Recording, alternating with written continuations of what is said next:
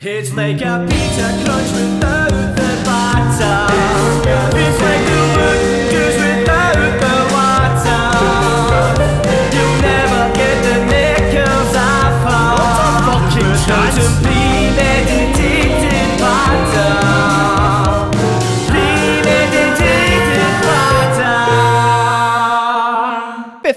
We begin the podcast, people, this is just a quick message for myself to thank you for your loyal and loving support. I wouldn't be sitting in this couch if it wasn't with yous, but I must ask you to support me a wee bit more. My Patreon is available now for subscription. I would ask you, please, for the bottom of your heart and your bank account, come and support them, man. Help me turn this into a full time job. I've been doing this a couple of years now, and I really want to progress to the next level where I can make endless content. I will always feature guest episodes on YouTube, so never fear, that will always be available to anybody that wants to watch them. But if you subscribe to the Patreon, you will get notified first before anybody of who that week's guest will be. You also have the option to suggest what kind of guest you'd like to see on the programme. I'll also do extra bonus content, for example, reaction videos, reaction videos to tunes, rap battles, to films, to anything that you want to see. Remember, when you are signed up to the Patreon, you have exclusive control. You suggest the content you want to see. What do you want to watch? And I'll do my best to accommodate your requests. I'll also be uploading behind the scenes footage to the Patreon, so how I set up for premeditated patter, what goes on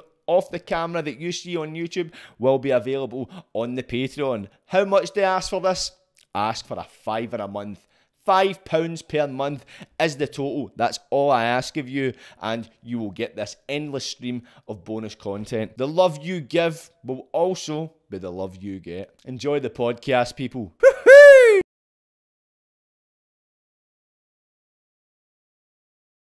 Then we were meant to go back in 2020 and COVID struck. Fuck. We got cancelled. You know, been back? No, been back because they done all the mad fucking COVID things. You couldn't get in unless you'd been vaccinated and all that shit. But they've only just lifted it. Oh, So- right, so have you not been able to go back? Oh, I, I go to things, but my dad and that didn't he? But now obviously it's opened again, so hopefully we'll look to go back next year. Aye, so see now, how, in what capacity would you go back now if you're Oh, not I trained? just means I don't. I can just enjoy it. Or can you just We we did, but to be fair, like we did, we would. Be, or my dad would have us in the gym. We would constantly have the sparring going at it, but then you kind of like as soon as that sparring's done in the morning, you've got the rest of the day to. go Right, on- I see, we I went see. down to Venice Beach and touring about, got to all the uh, the theme parks and all that. Oh, touring really? LA, I've aye. never been to America. What- I've got a criminal That, record, that, man, so I couldn't that get in. LA is a different world, man. Is it, aye? Aye, it's about six times the size of Glasgow. Is so it's it, so aye? big? Like even if you don't have a motor, it's hard to get yourself about because everything's so far away. Right, is the yourselves, you know what I traffic mean? no fucking terrible, but? wild, mate? Wild. See Yeah, if see that's if a you lot to of get cunts are cut. moving out. See if you get cut in Russia while there. It's Mm. a different thing. The gridlock. Aye, your nose if it's like you got cut to the Kingston Bridge, you're stuck for an hour. Ah. You're stuck for about three days. Uh, you're literally parking your motor, going to just walk, walk. back and get it it. was just it was chaos, but the actual place itself is unbelievable. Did you go to Skid Row? No, but we that was everywhere's becoming that. Is it? Aye. Aye. Oh, that's where all the homeless are now, because obviously if you're homeless, you've got nowhere to stay. You've got to go somewhere where the weather's good, the don't you? fourth year we went, that was was that last the last time we went. It was either the last time or the last time before we stayed in a, a different part of a different part of LA, and even like round the corner for us, it was a nice bit, and it was just tents. Really? Aye. Aye, just loads of tents. Is it no apparently- jailbait, but like, cunts? Because obviously some We cunts were are there fucking You, you see some some mad crackheads floating about, just different world, man. You're like, but they don't they don't bother you. Do you know what I mean? It's don't, just nah. no. I think I'll say if you're kicking about the wrong place at the wrong time at night, you're kind of maybe, but that's like anywhere. Aye, exactly. you know what I mean? Like, Aye, but- it's like kind of about the four corners on a Saturday night, innit? kind of, I fuck, fuck those sites you would see the nurse just the same as earlier. Yeah, mate, I, I think the Four Corners is just a much more condensed version. It like outside that Rennie Mackintosh, you know that. Mm-hmm. That's just that's a diluted version of Skid Row, I imagine, I man. can No offence to the but- cunts, out there, but you walk by Rennie Rennie Mackintosh, like you cunts like piping out there, but there was just also that's also a tents and it's just homeless. Home, but apparently, so that's been a couple of years since we've been back now. But apparently, it's like proper, proper bad. Like a lot of people have left LA and that now because it's just so bad. Like you've got all these million pound houses, two million pound houses, but then right outside your doors tents. Aye, I know. It gets, like plus, see, if I was homeless, right, and uh, I was in a place like that, see, I was like in the bones of my arse, said fuck all. I wouldn't think twice about breaking into one of the big houses But see, or doing something. Swear to God, so see, we go down to Venice Beach and uh, that's the thing, the muscle beach and all that. So you get. Did you get down there and train? No, we was doing that. You It went was down there and watched all the but, beefcakes? but that's where you, you get all the, like, the, a lot of the homeless people, and they're all just in there. They sleep in there. I suppose if you're going to sleep anywhere outside, you'd rather sleep on the beach. Uh, of course. But there's speedboards like set up all along the beach, just like for people just to fucking past it, they can play. Alright. Mate, some of these homeless guys are unbelievable. the Really? Like my dad was getting, my dad was videoing one of them. The guy was just hitting it before even looking at him, hitting it with his elbow, spinning round, and you're like. I could never even like. do you know what I mean? It's mm, just, just hanging. a pure fancy They'll just master it. My dad's like, "I'll give you twenty dollars if you do that again. Let me video it." And the cunts are that's what they do. I thought. I suppose if you're Ah, doing like a singing it, they've just mastered the speedboard. Do you think they've mastered it just because they're homeless been doing it? Do you think it's obviously ex cunts, ex boxers or No, I think people just homeless. They're just hanging it. Then they'll Oh, so just it's like almost a people. wee people paid them. Aye, like people. It's Right. like singing. It's like busking. Ah, Since you're just speed bun. Uh, speed busking. but I, I said, even starting this day, I was like, hey, what's this? Like, I've had all these fights, all these things, and I've, I've been boxing my whole life, and I can't do that. Mm. I wish I'd be able to. Do you think there's any kind of any any ah. benefit to doing it apart from obviously aesthetically, Just- like, no, oh, it looks dynamite, but do you think it actually would Aye, hand and, hand, hand and eye coordination, and just like uh, What, getting your your, elbows and that, forearms and that. So you get, your forearms all hanging up and. Your hand-eye coordination is good, just good for speeding your your Aye. reflexes kind of stuff. Mm-hmm, mm-hmm. But you very rarely see them. We've not got one in the old gym. Have you no no? No, we had one in the old gym, and then I think we had one, and I think my dad broke it. He's good at it. He's the Something best. listening He's, the- he's the best. He's the best at his art, doing it. Oh, is he? Aye, Aye. it's just weird, like different. Right. So how have you not got? Have you got? Like, there's a few different things. Different, they Now, now we've got all sorts of different bags now, but we've just not got a speed boss set up because it's a, it's a, it takes a, if it's just for what, if you've got a big enough gym, it's alright to put it there, but you could run, use a bigger bag there, which is going to be more Aye, productive. aye, do you know what I mean? You need to set a space aside, and if there's no space, it's a fucking bit of a But hindrance. they're, good man, you end up sitting. But as soon as somebody sees it, you just run up and vault, punch it. Aye. It as hard as you can, but then That's- that's, how that's kind of how it ends up breaking. That's exactly that's how it ends up breaking, man. I've always wanted to be like, see, watch cunts and pure they're smashing them, man. I I've- do it, I cut a punch, like, oh, fuck this, man, I've, loved I've always loved to be able to do it, and I can't. Can, you I can't can do it date. I can date. No, I've never been able to it. Have you not? I can date to a certain extent, but no the way. So was that never a part of your training? No, like the odd time, my dad would always try and make make me date, like just to just just to concentrate, Aye. just a different thing. Don't get me wrong, I go go to an alright level, but some people, at least homeless guys, are a different level to anybody, Mm-hmm. which is mental. Ah, you see, like Mayweather, not they're smacking it. Some people- like, the cunt could do it blindfolded. This guy could date like spinning round with his elbow, like Oh, right, some, aye. like Fuck, something that's a class I've never to see. like is it wild. Just a mad homeless dude in LA, just Ah, chilling. that's amazing. I'd love to see that. Has your dad still got the video? Did they post it anymore? I know, but I you will have it, but I will need to find it and look it out, man, and I'll send you because Ah, it's sends it. unbelievable. I'd like to see that. Unbelievable. I think we're gonna end up getting like ten or uh, ten or twenty dollars just to watch him do it. Aye, well deserved. One of My the guy's like, ah, right, this is my guy's like, spent. no bother, mate. Give me, I'll do it for you all day if you keep giving me money. Ah, of course, man. Getting him to do backflips and shit like an extra 50. Ah, it's class, but I says that that line in that LA, right line that Venice Beach is just like you've got all the different like pull up bars and you've got some that are people just strong as anything. Mm-hmm. Like the boy, the boy Nathaniel Collins, my dad trains. He's there and he's wee cocky. He just came back for the Commonwealth Games in two, this was in 2018 we went there. And he's he's up in front of the pull up bar, strong as anything. You've got the ropes, see the ropes, you, you can climb yourself up and get to Aye. the top, just on the beach. Right. But they're high as an anything. assault course kind of thing? Aye. But then you've got all these pull up bars and people doing it, and he's like, ah, no bother, man. You've got all sorts of different wee birds and that kicking about the beach. He's up on the thing. Then also the pull ups, man. I just ran and scanted them. Shut up. yeah, everything right out. Just hanging. He was just hanging for a pull up bar. Did they let it hang? Everything out. Aye, I think he had an option. I think he realised how how he, he was just sitting there, people walking past, and he's like, It was funny, man. Scanted them. I a right semi down. or Aye. oh, he was gutted. Still with this day slang on with it. Ah, you should have got a fucking photo of I that. wish I did. Wish somebody did. Should have get the mad homeless guy to go I, I wish man, to that's, the what- that's Bobby's what all the boys. That's what all the boys were saying. Like, I wish I had that in video, but it was just like I didn't even have time to find Nah, it. Was just spur of the moment. oh By man. the time you get the camera out, man, he's got the boxes He's getting up. the eyes he's already dropped down for them, is he? But because it was a reasonable high. Do Mm-hmm. you know what I mean? He's up doing all also that pull ups, man, heavy going for it. And the next thing you know, man, scanted everything out. We cock it, no. It was Boxer's cock. Didn't he have? It was shorts. it was funny because we were at the beach. cock, I mean, in the- Oh man, I Collars boxed. on the dick. it was funny, mate. It was funny. What was the biggest thing you noticed being in LA? Because as you say, what, for anyone that doesn't know, Joe Ham, thank you for coming back again. uh, Ex-pro boxer, boxing the Commonwealth Games, Team GB, and you've just recently retired. Great to have you in a part of Puffy, man. But before we take you back to the start, man, I want to just uh, continue in that story there because you says you used to go out to LA and train at Freddie Roach's gym. What was your experience of that? Let me stop you right there, pal. Hate to interrupt, but you need to shut your mouth right now and let the big man get yapping. This is a short message for your sponsors, Ross Harper Solicitors. Are you needing criminal representation in court? Do you feel that you and your lawyer don't have the relationship that you think you need for him or her to do the job that they need to get you off? I've got just the man for you. Nigel Scullion at Ross Harper Solicitors is a true embodiment of what it means to be a good lawyer. And I'm not just talking about in the courtroom. Nigel seeks to develop a personal relationship with his clients. He wants to keep you at the courtroom. He's not just wanting to fill his pockets, he wants to get you in, get you out, and set you on a path of freedom. Nigel has got his clientele at his heart. But don't get me wrong, in the courtroom, he is a stallion. He will fight tooth and nail to keep you from going up to the big boy house.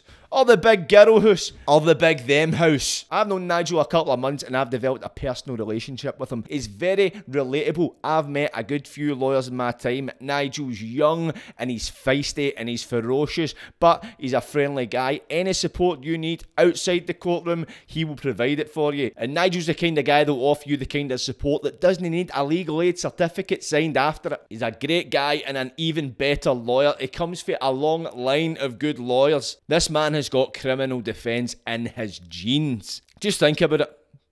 Do you want to go to jail or do you want to go home? And if you've not got a home, Nigel's the kind of man that will help you find the correct support services you need because his work goes far beyond the realms of inside the courtroom. This is a guy that cares about his clients and he sees them as more than clients, he sees them as people. He sees people that have, for whatever reason, they've ended up in a, maybe a wee dark point in their life. He seeks to get them out it and keep them out it. So look no further than Nigel Scullion at Ross Harper Solicitors to support you and your needs in staying out the jail. 0800 11 12 13 is the contact number. If you want to get them online, it's www.rossharper.com. You can direct message him on Instagram at Ross Harper Scotland, TikTok at Ross Harper61, and you can find him on Facebook at Ross Harper. To sum Nigel Scullion up in a short sentence, he's old school with a new energy. Check them out, people. Ross Harper Solicitors. But in the meantime, enjoy the podcast. The first year we went, just by chance, like me, it was only only threes that went. It was only me, my dad, and my dad's other boxer, Stuart Butt. Right. We went there just by chance. We'd kind of done training camps in Marbella and stuff before, Okay. and it was just always something. Everybody goes to and does all these training camps in LA. It's like it's a at least a lifetime opportunity. And you're just like you get into Freddie Roach's gym, the Wild Card, which is very famous, and he's one of the most famous coaches in the world. Mm-hmm. Trains Manny Pacquiao and all different kind of boxers. So we chanced around, we went over, over to LA just to do a bit of training. You're off chance you're you're getting in, you didn't know anybody, so it's just you're you're walking into one of the hardest gyms in the world, in the off chance that you're going to get some sparring, but you don't know like. So like- this like- wasn't prepared? no, no, like we just went. No, you don't, you don't know You anybody up? message. Just turn up. Right, And that's I how see, that's how it I works over there. Like it's just as long as if you've got a gum shield and gloves and you're willing to spar, anybody will entertain you. Really? So you can just walk in basically off the street? Obviously, if you've So- if you've got, So if you, you could you could walk off the street and just train in that gym at any point, Mm-hmm. but the we didn't know at the time. Up the stairs is just like you can walk in, train, and that's where he stands behind the desk, and you can meet everybody. There's two rings and hundreds of bags, and it's just people just go just to train in the wild card. Uh-huh. But downstairs is where our actual pro boxers train, all his fighters, Mm-hmm. which is locked, so you can't even like get in it unless you're invited down. right, I see. So when we first walked in, we seen Liam Smith, who's now he's now fighting Chris Eubank again, Mm-hmm, and I I boxed in the same Commonwealth Games as his brother Callum. We got talking to him, recognised us, so he introduced us to Freddie Roach, talking away brand new. So then through that, he invited us downstairs, and before you know it, there was a, a boy. I'm sitting there, and you're just thinking, who the fuck am I going to spar? Because you don't know, it could be anybody. Mm-hmm. Next thing you know, a boy walks in, and he just previously, I think it was like maybe six six months before, he boxed Carl Frampton for a world title in Belfast. He was Right. got Chris Avalos. right. He was like 25 wins, one loss, or two losses, or whatever it was. But he was a very, uh, almost fought for world titles and stuff. Mm-hmm. And they're just like, what weight are you? And I'm like, nine stone. Like, he's really like, you're sparring him, and you're just like, oof. Was that this guy? Aye, I, but I was only like, I think I must have only been maybe 4 and 0 at the time. And it's just, that's what it is. Aye, obviously, come man. You be- get offered the chance, you're not going to say no. So you go in in the spa and it's one of the ones you just go in first couple the first first bit you just get in you're looking at him and everybody's watching you and you just got you've just got to crack on with it, you know what I mean? Mm-hmm. So cracks on, go out in the first round, go to touch his glove and he just scalps me with a right hand. Fucking bastard. I was like, oh, oh, brilliant. You can either go two ways with something like that. That can either like be like, oh fuck that, I don't what what, what you doing, and you can either hang it. I was like, ah, fucking brilliant, man. Aye. Right to town. Aye, because that's, that's kind of set the standard. the- right the- to the town, man, and I was just trying to try to take his head off with every bomb. And I think he got then I think he just expected just to come out. But they don't know anything about you. You don't. don't I'm like, I know him. Only reason I know him is because I watched him fight Carl Frampton. Nah, no, in a Do you know what I mean? That's personal knowing a person. It's only because you know who they are. Box for a world title and stuff. I was trying to kill him, funny, and his dad shouting at the side of the ring, my dad shouting, and it, it gets animated. Like you ever seen it? like in a Mayweather's gym? It's like the doghouse. Aye. People aye. at the side of the ring and all that. It's like it's wild. Right, so is it like that? Aye, and it's like there's no. It gets to a point after like the first thirty seconds. There's no boxing. It's just a street fight. Right, he- so where- it's, it's like as close to an actual fight as you can get. where he'd geared and gloves on, try to kill it, try to do Right. each other. What so size it's of gloves? Is it sparring gloves? 14, aye, That's 14, aye. 14s, Don't get me wrong. So I'm trying to give it to him, man. I'm trying to take his head off. But he kept like fixing his gloves and saying his headgear was loose and getting breaks in the sparring. So I'm back to the corner and my dad's like, stick it on him. And the boy Liam Smith's there and he's like, he's like, every time he rests, don't let him rest. And I was like, ah, sound. One time in like the third or fourth round, man, he's stopped the spar to fix his glove. He's turned his back on me, man. I was ran behind him, cracked him, man. Did you? Aye, man, was- How did he react? oh, he's down at something to say the ring or shouting at us and all that. But did my dad's just fucking- did they get laughing. and out aye, of it, or people was like, "Def- defend yourself all the time. Ah, true, man, true. Well, it's- it they- sets the precedent when, I was, as you say, you go for the, the, the touch gloves Off, and he man, I big. just so us, he just turned his back on me, man. I ran behind him and scalped him just caused thingy. But then after it, you're like, ah, brilliant spar, mate. Get a photo and all that. And it's sound. And then he's like, the next day, so he's like, ah, can we spar again the Thursday? Because I kind of got the, I, I, I did, I got the better of him. Try to, try to see this. So the next day, no, so this is on the, they spar, they spar Monday, Wednesday, Fridays. So this must have been on the Monday. We arrived Sunday night. So right after playing, right into the gym right, right. jet lag and all that. So I was like, okay. hell. So when we turned up to the gym on the Wednesday, he's already there, Aye. warming up, getting ready. I'm like, he's gonna come for you at the day. Do you know what I mean? But at this point, this is where, uh, so you, you walk into the gym, and in the gym it was very quiet that day. But you had Jamie Carragher and stuff, the football player. Mm-hmm. Aye. He was there watching Liam Smith train. Right, so was he there with him or was it just no, he just happened to be. He was on holiday with his son, Right, right. and he right. happened to be coming to the gym. Uh-huh. went over to the gym and he's watching the sparring and stuff and same idea. As soon as that bell goes, it's just I didn't even give him the opportunity to put my out to touch his gloves this time. It's just that's it. You just go and then same idea. You meet just famous people. Jamie Carragher sitting there watching you spar. You know How what I mean? that feel? It's already because I know who he is, but and obviously, but my dad, my dad doesn't follow football whatsoever. So my dad's just like, my dad's walked out him. Obviously, he knows he's for Liverpool, knows he's for the knows he's for the UK and stuff. So it's me and Stuart, everybody, you know, people. He's at Jamie's just sitting watching the spar and enjoying himself. My dad's right up to him like that. You're a boxer. Jamie Carragher's like, "N- no, I, I play football. I played football for Liverpool and that. My dad's like, "Ah, I don't watch football. and it's just one of the ones. Like. I'm sitting there like, oh, for fuck's sake, man. Just you don't even know if he's kidding on. You don't know if he thinks kidding you on. maybe he does know, and but, like, no, he's but- genuine. nah, Nah, is that I know who you are, mate. Aye, to be fair, he was spot on. Photos took me that, and he was brand new as anything. So Oh, I just he, watched aye? the sparring. I think he likes, I think he likes his boxing. Mm-hmm. And his pals with that boy Beefy, and obviously there. But that was the first year of the sparring, and it was just mental. And Mm. that's how then that set us up. Then we kind of went back every year for four years, Mm. just all different things. Second year we go. We walk in and you end up sparring Scott Quigg, who was a world champion. Right, Same right. thing, but he was for the UK. Mm-hmm. Looked after us. The set the next year we went. Lee Selby, world champion for the UK, and sparring him. So were they all there? Are they, they, uh, did they, are they trained with Freddie Roach or did they no, just no. go to this gym everybody just, just goes train? to everybody Did just goes to LA just to train. Right, right. It's only for like a week or two weeks, but people just go there because it's the best sparring in the world. Is it? Because aye? it's not just Freddie Roach's gym. There's loads of different gyms in and around LA, Mm-hmm. but everybody from all over the world descends on this gym. Just we were there as partly just as a training camp organised. People just go hoping that they'll get spotted. Right, I see, I see. It's, it's, it's, it's, it's a good idea as well. Plus, as well, if you want to uh, go out with well, like your own area, because it's like the talent levels in about England and Scotland. It only got- gets to a certain aye. level. Especially the, if you're going into sparring gyms, you're not going to be sparring world champions in that. But you, as you say, you go into like Freddie Roach's gym, you've got that opportunity. You, can fight people. you know, and for you, you don't know who's two people are. People like like Boy Nathaniel, the second year. I, I see because we've been four times. Hard to remember what year was Aye. what. But the first year Nathaniel went, Nathaniel's he's a British and Commonwealth champion now. He'll be he'll be a world champion. But this was he hadn't even turned professional yet. Straight over, he ended up sparring the boy called George Kambosos, who's was, Aye. who was a unified world champion. Aye, he just beat- fought the other night. He just beat Teofimo Lopez, then he just beat Maxi Hughes. Uh-huh. Didn't he think he beat Maxi Hughes? But before he got a decision, so he was like 18 or 17 and 0 at this point.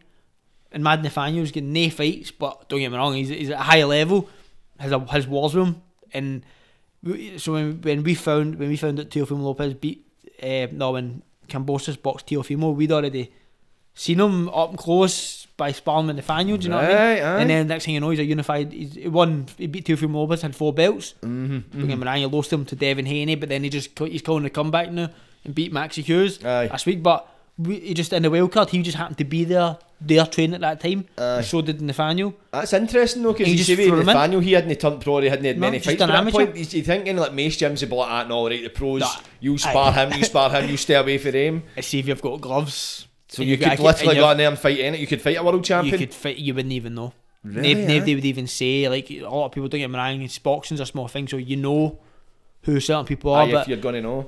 I think it was like the second or third year the boy Davey came with us, boy Davey Kelly, he just recently turned pro with my dad. But he's been about it for years as well. And uh, he's getting spanned these mad Filipinos and Mexicans and they're all undefeated and Oh, mad like killers. Aye, they're all just machines, man. Ma- Mad Davies, white pale as anything for Drumchapel, man, just gone in, gone ahead, just gone ahead of people, man. But that's what it that's and it's brilliant, today, man. So you're looking back now, it's probably you'll not get a better experience it. It's Oh, unbelievable. 100%. What did you take away from that in terms of like a, for a boxing standpoint? got What was the biggest lessons you learned? just the way the way they treat sparring, everything's just so. Every every spar you've just got to have like a. It's not so so much an attitude like. Everything's you've got to like hurt, hurt, want to hurt people like usually in a spar you mess about but earlier you don't really get as much with it, whereas the way they train, it's like a fight, mm-hmm. and then that gears you up in the hardest rounds. If you're sparring six eight rounds at some pace, when you get into a fight, you've already experienced it. Aye. Whereas if you're sparring with the same people over and over again, you can't go through the motions. you know what I mean? And you, you you you spar the same people, you end up just doing the same thing, and you get overconfidence. And Uh-huh. then, then by the time you do get into a hard fight, it's not done you any good because you've, you've not experienced it. Mm-hmm.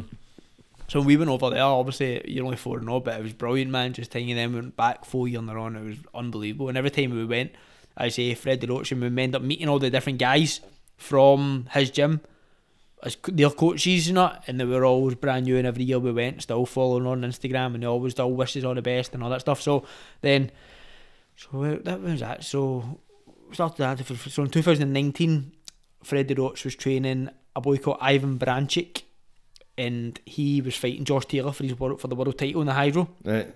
So this is 2019.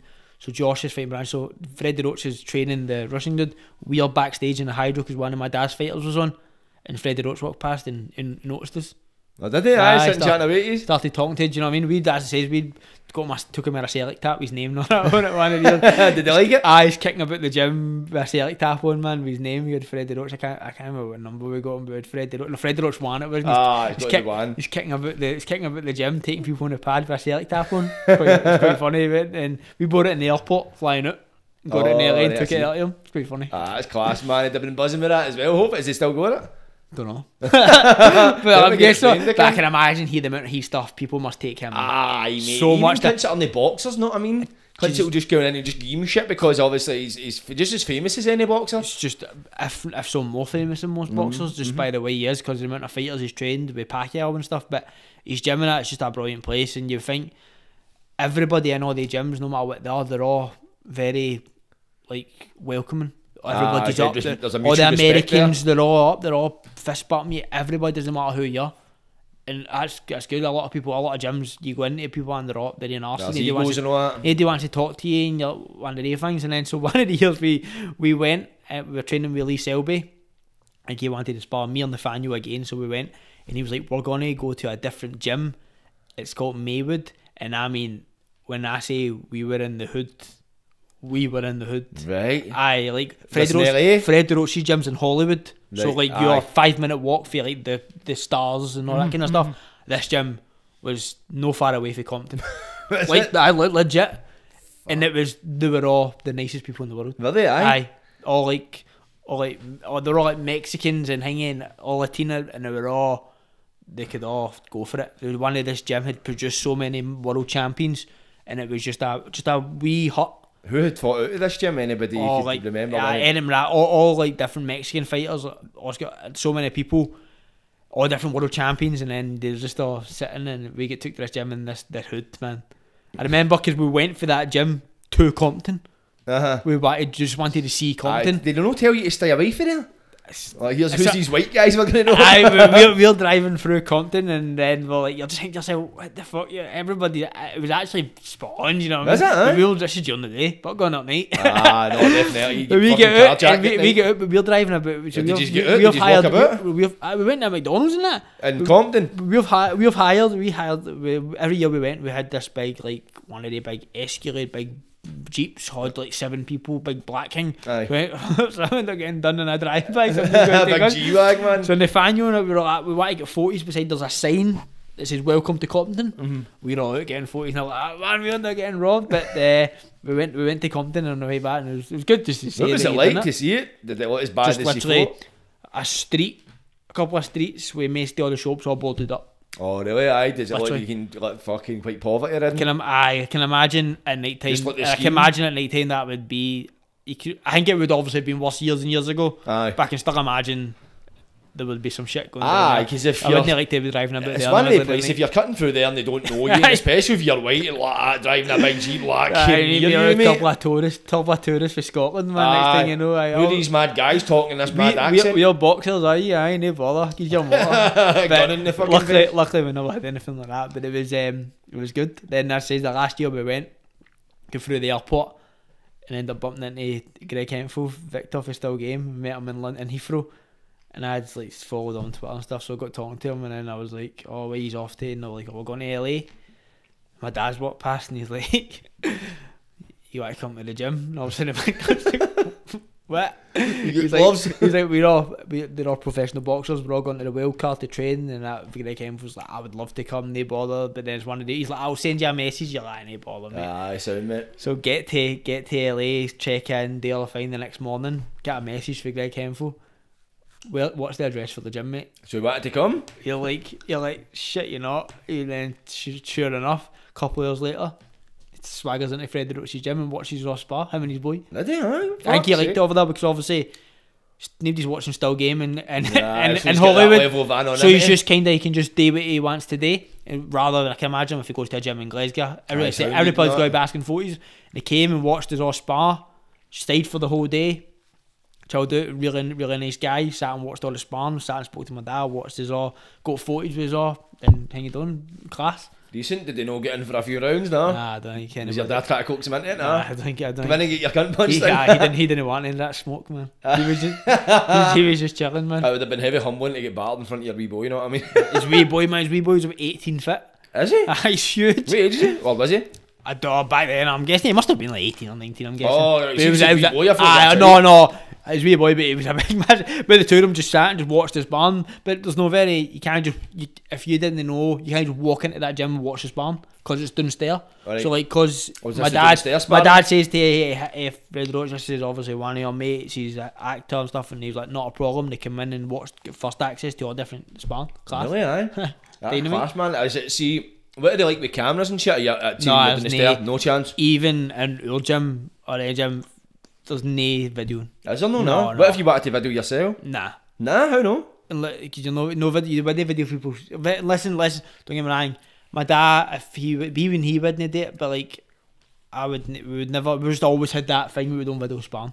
Really? Oh, I think we used to do, we used to do when we were amateurs and stuff, but when we have like, even if you go into a pro and somebody's got a phone, like, I- don't get me wrong, come- somebody can take the odd pictures, but if we saw, if we were in a somebody's gym and somebody came to your gym and they're standing with a phone, like, no chance. Aye, Make sure you're no video, but that's the same that's a just a gym rule. That, Oh, that's, so is that a general rule? That's kind of like in most gyms, they, they wouldn't want Just with anybody them. sparring, but obviously if you want to hit the bag and like Aye, hit the, hit the bags and pads and all that. Aye, but just the sparring just the kinda giving away the sparring, aye, you wouldn't, you wouldn't, you wouldn't watch. Don't get me wrong, everybody takes videos of hitting the pads and bags. That's not a thing. But watching video and sparring, it's just like an unwritten, unwritten rule. Is it? to do Aye, it. I never knew that. Unless it's like your own gym and you're sparring too, Like if I, if Nathaniel was sparring Reagan or two of my dad's boxers, he would video it because the two of them for the same stable. Right, right, right, right. So hmm. do you know what I mean? It's But not as if they're going to be facing each It's other. not as if you're going to be facing each other. It's not as if somebody's going to be going away and showing it to somebody else because you can trust the people in your gym. But Aye. it's it's like a it's like all other world to be fair. Oh, is but in it? America, Aye. even in all these TV shows and all that, they don't film the spa. They all Right. say that phones away. There's na- even Mayweather's gym and everybody. The first thing when they do when the sparring's about to start, everybody's the same. Phones away, which is a great thing because I think about is match sparring clips. I couldn't get heavy leather for no reason. Well, you do see, you do see them. Aye, that's how But- you always hear like, aye, so and so get get dropped in sparring, Aye. like get knocked in sparring. You're like, ah, right, is that a all, walk? it's, all, it's all gym stories, you know what I mean? But what happens in a gym? A gym, gym's not a fight. Mm-hmm. Anybody can win. Nobody can win in a spa. You can punch fucking everybody and knock ten people out in sparring, but you don't get anything for it. That's the thing. That's what they say with a lot. You get a lot of fighters. I think Tyron Woodley was a prime example. Uh, used to fight in the UFC. If you don't know who he is. But uh, you would get fighters like that, they'd go in and they'd spar, they'd leather every cunt in the gym, they'd be fucking dynamite as soon as they go into the arena and they, like, in front of a crowd, Aye. they flap, they're just a different fighter Aye, because they, they've got all the lights and all that shit It's on them. two different sports. It's two different things. You know, sorry, doing it gym. That's what it says. So you can leave it on the gym, Mm-hmm. which is a it's a thing. It can happen because it is a nervous thing. But people would just put sparring clips and all that. We done it as amateurs and stuff, but like you get people put it on. It's like people liberties and all that. Like Aye. it's not going to get you any. Nah, is it fuck, Pe- man? people get in with pure cameras hidden in their jumpers and all that. You can just tell like the way they're videoing But it. they can't that. try and do that?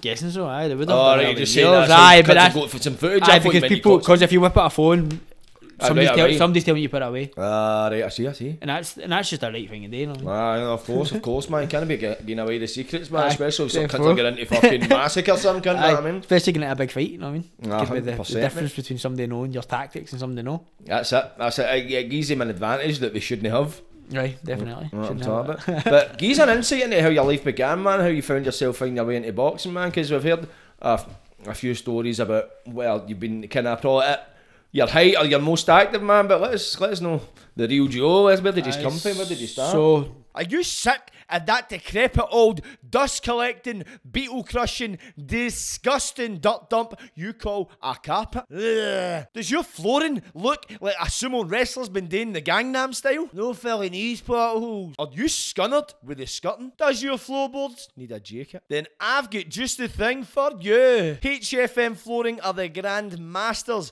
at caressing the underside of your soles with the finest, most plushest fabrics ever to grace the market. They fit carpets so soft, you'll soak into it like Ewan McGregor in that scene for Trainspotting. They also do laminate flooring that will restore the style back beneath your feet. Boosh! They also provide LVT and vinyl flooring, which is waterproof, slip resistant, and suitable for use with underfloor heating. And if you're somebody that likes to kick back in the garden, but you're allergic to cutting grass, ah, you blame the hay fever. HFM Flooring also installs premium artificial grass, which is easily installed, fade resistant UV protected, has inbuilt drainage to flush out any water, and is pet friendly. All measures and estimates are free. That's right, free.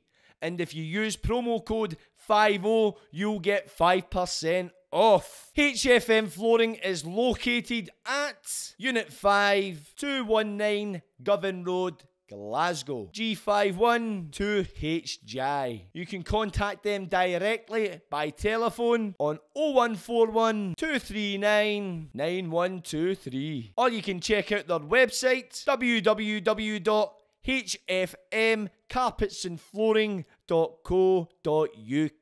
Or you can message them directly via social media on either Facebook or Instagram at HFM Carpet Flooring. HFM will fit the flooring that your feet will be adoring. we grew up in the Gorbals, been there all my life, loved it, still there. Just in a nice partner in Oatlands.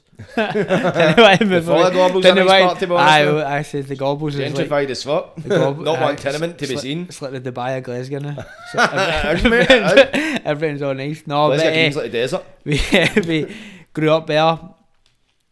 Um, so my dad boxed. He just he had like sixteen or seventeen amateur fights. He just didn't like nobody boxed in our family before that. He just went to a boxing gym and just loved to have a scrap. Right, I see. And get into went to a boxing gym. He went to the one and then four and out. I was a wee chubby guy, like seven, eight year old, but I always done the pads with my dad. Like for years, was always I could always punch and I could always do hingy. Then got to about eight or nine. I started. I was chubby man. I was fat as anything. And they got there like ten, and then basically my dad made the decision that I was going to be a boxer. Right, I So see. How did you feel about this decision at the time? Didn't really have one. Got to the gym. aye, I couldn't play football. I couldn't run, man. I was a wee chubby goalkeeper, man, just getting volleying shots. In his man. kicked at you. so that wasn't. I wasn't really like that. Couldn't run. Useless. So my dad went to a, went to a big fun as a gym. Started thing. It was called Dennistoun. Uh, Dennistoun when it was happened the gym happened to be in. Oh, funny that. so Dennistoun ABC. So started started there into this old church thing, man. Just hunters are just all wee guys. You walk in, everybody's just growling at you. You've just got to go on with. it. I mean, Ah, aye, just so you're in, you're doing the thing, people taking on the pads, you're hitting the bags, and then I was just a bit weird, didn't really like it, you know what I mean? Because I was a wee chubby guy, and you don't feel the same, you're not as faster, you're not as skinny as other people, and blah blah. You're getting into the spar, and the first few spars, man, people are parting, and you're like, ah, fuck this, man. Nah, no, I'm a fucking wee guy. I'm getting punched Aye, about I here. fucking said. Didn't really like it for the first while, but to be fair, I stuck at it. Then had my first fight. No, I had my first exhibition. Sorry, I must have been like maybe I was ten. Don't think you could fight till you were eleven, so I must have had my first fight at eleven. Or else vice versa. Maybe it was nine. I had my. It was one of the two. So we had an exhibition mm-hmm. in the Smiths Hotel in Kirkintilloch. Get by these big mad black shorts on. Got a vest on that's too big for us, man. My fucking wee fat tits are potting at the side of the vest and all that. the vest is all taped because it's that big for us. I'm doing an exhibition and it was good just to get nobody won. So it was a boy versus another boy for the club. Nobody wins the two years win, you get a trophy and all that. So done that. So nobody wins? What do you mean nab- The next wins? you're only we were only ten year old, so you're just like spar. Oh, it's so it's a- spar on a show just to get But you so like there's no right. He won, you lost. no, it's no, it's just it's just to get his experience for the when you when you do go right to do it, just to kind of fighting in front of. Sorry, we were doing all the sparring, Ah, but this time you're doing it in front of people having a drink. Ah, right, so the see, first fight on in the Smith's Hotel in Cock and and everybody's clapping and all that. Two years get a trophy, or fucking buzzing. But you don't know any of then it wasn't until a year later. Then we had the first fight. First fight, I was like fifty two kilogram. Bear in mind, this must have been I was I'm sure it was either ten or eleven, but this must have been fifty two kilos. Bear in mind my last fight when I was thirty one, I was fifty five kilos. That's fucking mental. Do you know what I mean? So- in fucking how many years? Fifteen years so- or something. So 52 kilos, man, box, turn up to the this this ring, box this big. The boy must have been about eight foot. I was a wee chubby guy, man, and he's battled my fucking cunt in. In your first fight, Aye, you man, let go it. wild, aye.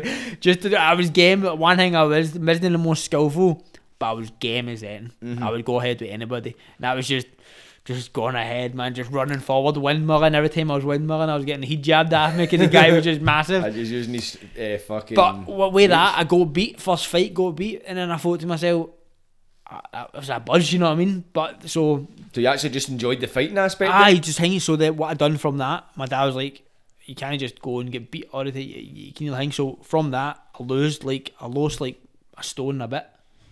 Just fell off. Just just chub, chubby wee guy. Do you know what I mean? Next thing you know, I had my I had the next fight was in Glenrothes, 40, 44 kilogram this time, one. What a buzz! No, really. I actually, actually experienced winning Buzz. this time. Then you win again, then you win again, and for you know it, you're just kind of getting through the amateur stages. Are wee boys, you're kind of getting through. Then for you know it, you go into the Scottish Championships, the Western District Championships. You win them. And you're like, that's fucking brilliant, man. fucking phone and getting tons of money off people and that because you get winning. Oh, My really? So grannies did you, know that. Did you get paid for it at that point? No, just family members oh, every time you right, win. just, just kind of like, and if, if I won, my dad would always buy you know your new get up, get up to the Scottish Championships. I always like to have the best of kits on. My dad would always have to go through buy you new kits and buy you new things. If you win, you get you used to get. My dad would buy his Sannies or a trackie or Oh, just just right, give you so incentive. You know what I mean? And my granny they give you money and all that shit. So it was fucking brilliant. So kind of went through and that was didn't really take it serious. That was just your ho- a ho- like a hobby as a wee guy. Do you know what I mean? People went to football training. I went to boxing. Uh-huh. P- People back then probably never thought I would do what, I'd, what I've done now or gone on to as much. People just knew me as wee boxer. But that, how far can you go with it? Do you know what I mean? Ah, yeah, yeah. So it wasn't until I was like 15 or 16 and then boxing for Scotland and stuff, and then you just kind of had first fight. Instead, I got to stay in standard grades in school. I ended up going to the European Championships in Italy, fighting out on the beach in Sardinia at night time. Unbelievable! Like what an experience. Thought of going out, fighting the Scottish Championships, British Championships. You win all them for all the years, and you just think I'm fucking, bro, I'm dynamite. This was like your first eye-opening test to go to experience with people your own age, but the elite of the elite. Aye. So we went to the European Union Championships in I was in Sardinia in Italy. Get drew against Turkey. That's what it is. Just go, "Ah, I'm gonna smash this. My dad's on the phone. He was obviously he was just always a coach, but you've got Scotland coaches and all different things. So we we a couple of guys. Earlier, I got drew against Turkey, man. Oh, I got leveled. Aye, Was aye, that your first kind of experience at like, uh, international competition? aye. In the first experience, it was such an eye opener. Was it? How so? because I was a wee white as anything. Reasonable. I was still quite chubby, but no, no as chubby as I was. But I still had a wee bit of chubby, wee baldy, chubby white person fighting this absolute machine of a, a Turkish guy with a heavy chest. Biceps and triceps. I was across the ring for him, like, what the fuck? He's no 14. was he meant to be 14 the cunt? Well, he, he was, but he just, just Four- 14 mil a test a week, bro. cunt, sake. Oh, first round, got it, man. I tried to land a few jazz, few hingies, man. Everything just bouncing off him, man. Next thing you know, he's just ragdolling me about the ring. Don't get me wrong. using you as a punch bag. I used to beat me on points. I still I always go. I never, never give up. Hang like that. But I beat me on points, but it kind of gave me an eye opener, as if to say, if you at this level, you've kind of got to, you can get away with it in Scotland, but it doesn't mean anything. It's it's this. Aye, you need to step up. So he comes back again in the story down the line. So as I got Mehmet Topkan, he was just an absolute machine. But he was in a kind of eye opener. So this must have been this is either 2006, 2007. What age were you back then? I must have only been 15. So you're 15. So what would see like your life outside of that? Because 15 like, is like fair. You started when you were seven. I was 50 kilogram then. Aye, 50 so, and then till you were 15, what was your life outside of boxing like? Were you kicking about or you hanging about with the troops or that? No, or I was up- just I did that. I- disciplined? grew up in the, in the Gorbals. I was obviously hanging about the schemes and that, but I'd, I'd never drank. Right. So I was in case you know dad do this because he was a coach. You know what I mean? So everybody can Aye, go keep- like other people go in for the gym and then the coach is in the in the house. I doesn't know what's And happening. every time I was going home, I was, I was like, cause there was only 15 years between me and my dad, you know what I mean? So he was still boxing, training at the same time that I was. Mm-hmm. So I was getting like home, like, for, or before I was going out, or before I was going anywhere, and like, ah, Mum will spar in the room. and, and our spare room, we used to stay in the high flats in the Gorbals. This must have, I must have been about 13 or 14. I mean, my dad used to go for it, man. But an actual spar. Your dad? obviously, he's not gone fucking for it. Well, that's, he obviously doesn't, but he's always trying to deck me with body shots. Aye. Try and put you away. But aye, but he used to always just spar us, man. Funny. Did aye? Aye, brilliant. Did, you, did, did it never feel weird at any point? Did you know, like, see, like, speaking to your pals, did any them be like, ah, right, we don't I wish it was your dad. Oh, he's at work now. I wish you, wait, uh, I got to take you to the fit one. I thought you're doing. Can, can hate me spar my dad six rounds, in the spare room, but it was fucking brilliant. You know what I mean, so then, but when I say so, he used to always when we were training at the same time and stuff. So he used to always make me, as I said, I hated running. Couldn't run to save myself. We chubby guys, so he used to always take me out running, run the Glasgow Green and all that kind of stuff. And like, "Ah, if you can't keep up, you're getting left. so we would put on the other side of the guys of green away the guys green foot up it. She's not in the back in to keep up, man. He would just run away. Did they just run away and leave you? Aye, and I would just have to just get myself home. Don't get me wrong, in the Gorbals, knows if you're like, you know whatever it is. Aye. But I would just have to get yourself home, and I was like, oh, fuck Did that ever happen? Oh, plenty of times Did that. I would walk home pure raging, man. I just run away from you? Aye, and I'm, I'm no fucking, I'm walking. I'm not running home, man, pure raging my mum got on to get him. My mum's like, ah, "Where's Joseph, man?" My dad's like, "Left the fat cut. I'm just tracking about the guys at green. But then years later, that's what made me such a good runner and so competitive at running. Right. I became a machine at running. So that kind of just installed something positive. Something in, in my mindset. Now and every time me and my dad used to go running, he went on a bike. Oh, did he? Aye, shite man. didn't want, he didn't want, didn't want the smoke. He didn't want that smoke, aye. But don't get me wrong, my dad's, so what is my dad now? He must be 48. Uh, and he's still out. He runs every morning. Does he? Is his up knees no knackered? Up, up, up. Kafkin, the Green, no matter whether. Him and him and him and his staffy just looking for fights. really? But the staffy or him looking for fights? Both. Them? anybody, anybody, either. Just poor dog walker Him and, his, him and his mate have ran for years every morning. He's out, out six in the morning, no matter what, running three or four miles every, every single day. Sake, as fit as anything. Training. So we train in the gym. Say we were in the gym at twelve o'clock. He's in at 11. Oh, is he? training himself. Right. We're in the gym at one. He's in at twelve. He's in. He's always he's Right, always so fit. he's still physically active. always aye. He's heavy going for it all the time. I did see no drink, no. Never. With Never? Nene's have, I think that's why I've known. Do you know what I mean? And then so it's not as if you've always been around it. But then even though I even though I've still got the same, even though I've grew up in the Gorbals, I went to school in Kings Park. So all, all my mates have still got I've still got the same group of pals as which I had back then, but I do now. Mm-hmm. And uh, like we grew up there, but everybody for the Gorbals have always backed us, Aye. which is something you don't usually see. Somebody for a no, scheme. is it fuck, usually man? somebody somebody doing well, you're like, he's a prick. He's this. Aye, I get a all the people for the scheme, no matter what, they always they've always backed us. I've never had any trouble. I've never been in street fights. No, never had nothing.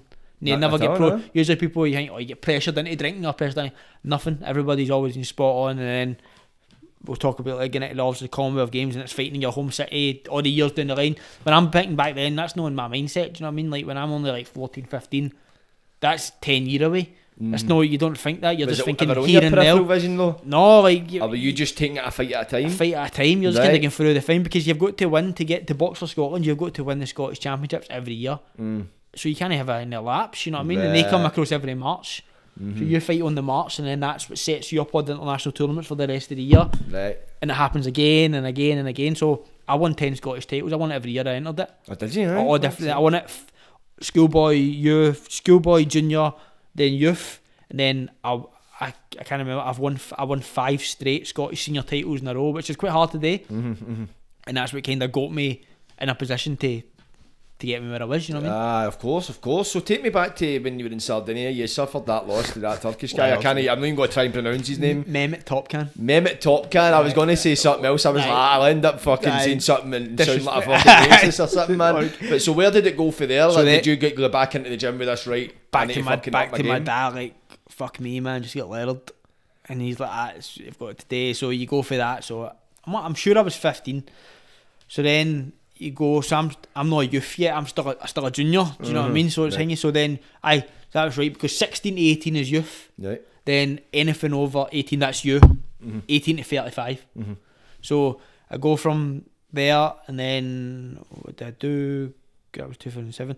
Then I go into the Western Western District Championship stuff. And then the next year that's you into youth level. But when you're in a youth level, you can still enter senior competitions in Scotland, like the Western Districts and stuff. Right. So when I was 17, all kind of changed. You had the, it was a weird structure of boxing Scotland. It was like different coaches took you. So we didn't have like a national coach at the time. Right. Then all, it all gets announced. Different people come in. Guy called Richard Thomas comes in. He was spot on. He actually passed away. He was, so- he was some some guy. He kind of structured it in a different way. He's more like a business sense. The the boxing at every age group. They all got a budget, which had never been happened, but it was probably the best thing that's ever happened because No. now that's what's now got the structure today, and it's all came from like his way he started it. So what was it like before? What? Mental mate, Oh, just, just fucking aye, oil the it camp? was just a chaos. It wasn't run very good. So this guy, so they've got all these people doing the gyms. You go to Scotland training. The Scotland training was like every Sunday in a different gym throughout the west of Scotland, Mm-hmm. Motherwell, whatever. So like people from Edinburgh, Glasgow, everybody comes, and the best goes to the, the competitions. You got the best of sparring. So that's what you, you, you that's what makes it. Aye. So everybody's in all these gyms. So one Sunday we all go to a gym called Newt Hill. All different coaches, all different boxers, other places. So you've got this guy for Liverpool comes up, guy called Kem Smith. With an Everton training tap on, nobody's ever heard of this guy, Scouser. And he's just like that to every single person. Coaches, boxers, he's like, use it or shite.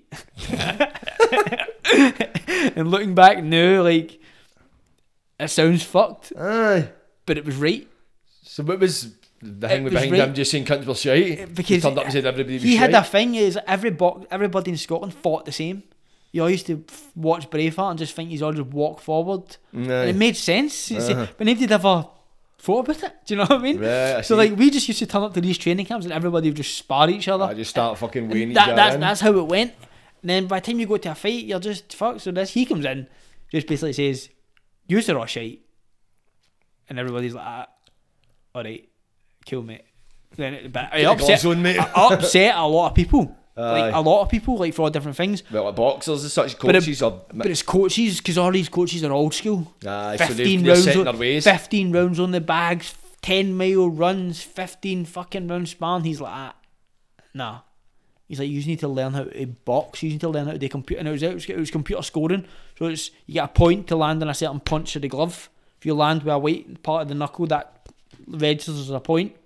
So we would just be like, oh, go ahead, and cunts would just box the heat off us, and you, you beat stupid. And it happened to everybody at every level. Don't get me wrong, you had the odd one coming through all different years that would do really well and going, but for the most part, it was the kind of the same. Mm-hmm. It wasn't going anywhere.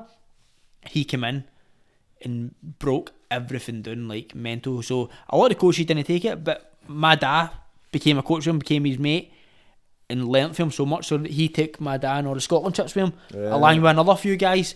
So like that's as well. You've got like me coming through, Boy Aston Brown, Josh Taylor, um, Lewis Benson. You had a whole host of different fighters all coming through at the same time now, and it all got broke down. And he used to break everything down, and he just made us box the way he wanted to box. There was no sparring. We get made to stand in front of a mirror There's no sparring.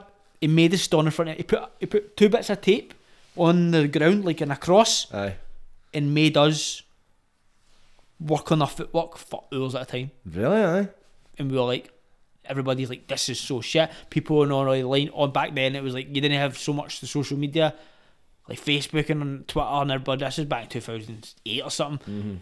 And everybody used to have all these boxing forms and cunts used to just come on with fake names and just slaughter them and What, didn't know, forum, like- doesn't know what he's talking about this cunt's a prick man he's just fucking making every cunt like boxers or coaches mixture? Aye, everybody because it, I was thinking, but then it worked massively because it took a year. Then between the 2008 and that 2008 was like the learning year. You were still boxed in all the fights. He came, he used to stay in a boat in Kirkintilloch, and tuck, and then he had a, a wee a wee van, he had a mattress in the back of it, and he just toured about. Going Telling to cunts they were different, going to different gyms, just telling people they were shite. What a fucking hero. Then meet you on a Sunday, and he would make you do all your footwork, all your things, and then true enough, become became you, you learnt his style. Took a year to implement it. Then the year between 2009 and 2010, I was a different animal. Really? For the, for the better? For all the better. Totally transformed you? Just transformed me. Everything for the for boxing to boxing on the back foot, for counter punching to punching hard to believing in yourself. That was the biggest part. What did he do? Was that just like the kind of the thing that helped you believe in yourself? went, Or did he oh, implement he, methods? he implement he just pl- implemented that much confidence in you. Like if you were to do something on the pads, you'd be like, "That shit," and you'd be like, "That is shit," because it, before you would never would say that to you. Mm-hmm. You would just do the same thing and make the same mistakes, and it ma- it made sense. Mm-hmm. And it changed. He changed the he changed the dynamic of, of a lot of his a, a lot of us, a lot of him, owe him a lot. Spe- mm-hmm. And my dad, even admit to this day, he's the one thing you learnt learnt everything off. Really? Aye. So Unbelievable. did, did people kind of fall off the wagon oh, then though? so many. Did cunts go, oh fuck, this cunt doesn't know what he's talking about? you just turn up to cunt's gyms in a van and just tell with an Everton strip and just telling them they were shite. But uh, best thing, best thing that ever happened to me was him coming into that thing, just in terms of, and in that year of 2009, I had like 37 fights. I won five gold medals all over the world. Boxed, won like three or four silver medals as well. Boxed at the highest level. So I'd won like two, won a tournament in Croatia, won a tournament in Finland, all gold medals. Won the Scottish Championships won a couple of won, won a duel against France, won another one. So I'd went like fifteen or sixteen fights undefeated. Mm-hmm. Went down to the British Championships in Liverpool. Well, it's his home city, do you know what I mean? So he's down there. Beat the English champion, then beat the Welsh champion. So I was a British champion at a youth. So I was, I was like, fuck me, I'm fucking flying. Mm-hmm. So went to a tournament in Germany.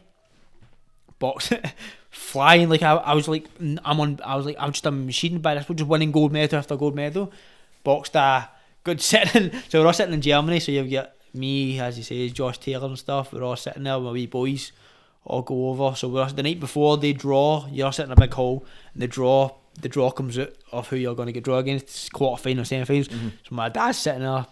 My dad, Kev Smith, we're all there, and he's sitting there, and the draw comes out. I'm sitting like at it. Joe Ham, bantam. At this point, I'm 54 kilogram.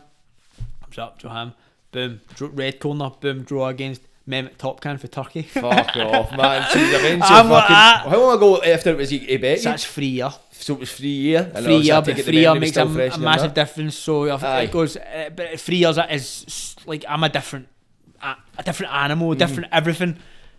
I'm only I'm four kilos heavier, but I'm just a different Mm-hmm. everything. Do you know what I mean? So. Drew against him, man. I'm like, oh, for fuck's sake, man. I'm going to get my cunt punched again. but at this point, it's a different thing. I've got my dad in it. My dad's in the corner. It's a different thing. So we go over. First fight, man, right again against him. He just walked towards me, man. Just seen me and just thought, I'm going to absolutely smash this guy again. Came out, I remember, I think he just came out and he just opened up on me. And I was against the ropes. And I just remember step. But at this point, I'm like, I'm confident in myself. Years before, I would, you would panic and fluster. Didn't affect me. Touched him, step back, backhand, and his legs buckled. And he shot himself. Like for the rest of the fight, he didn't throw punches. Really, aye? It was it was the weirdest thing in the world, and I, I won the fight like four one in points because soon, soon as I land push, it didn't want to do anything, hmm. and it was the, it was the Did weirdest. you think it was about that? I just think you knew in that first punch that you were a different fighter. Do you think? I don't know. It was just it was. I think I just caught him with a good shot, Just took the wind out of and your I sails? think aye, and it, I don't think it was expected, but I won. I won the fight, and that was I was like. It was just weird, like how things can run about the circles. Aye. But that boy's always one that'd always come back, and I was like, fucking brilliant. So I beat him, then I beat somebody else, then I beat a very good Hungarian boy who, who was winning as well, and this was the semi-finals.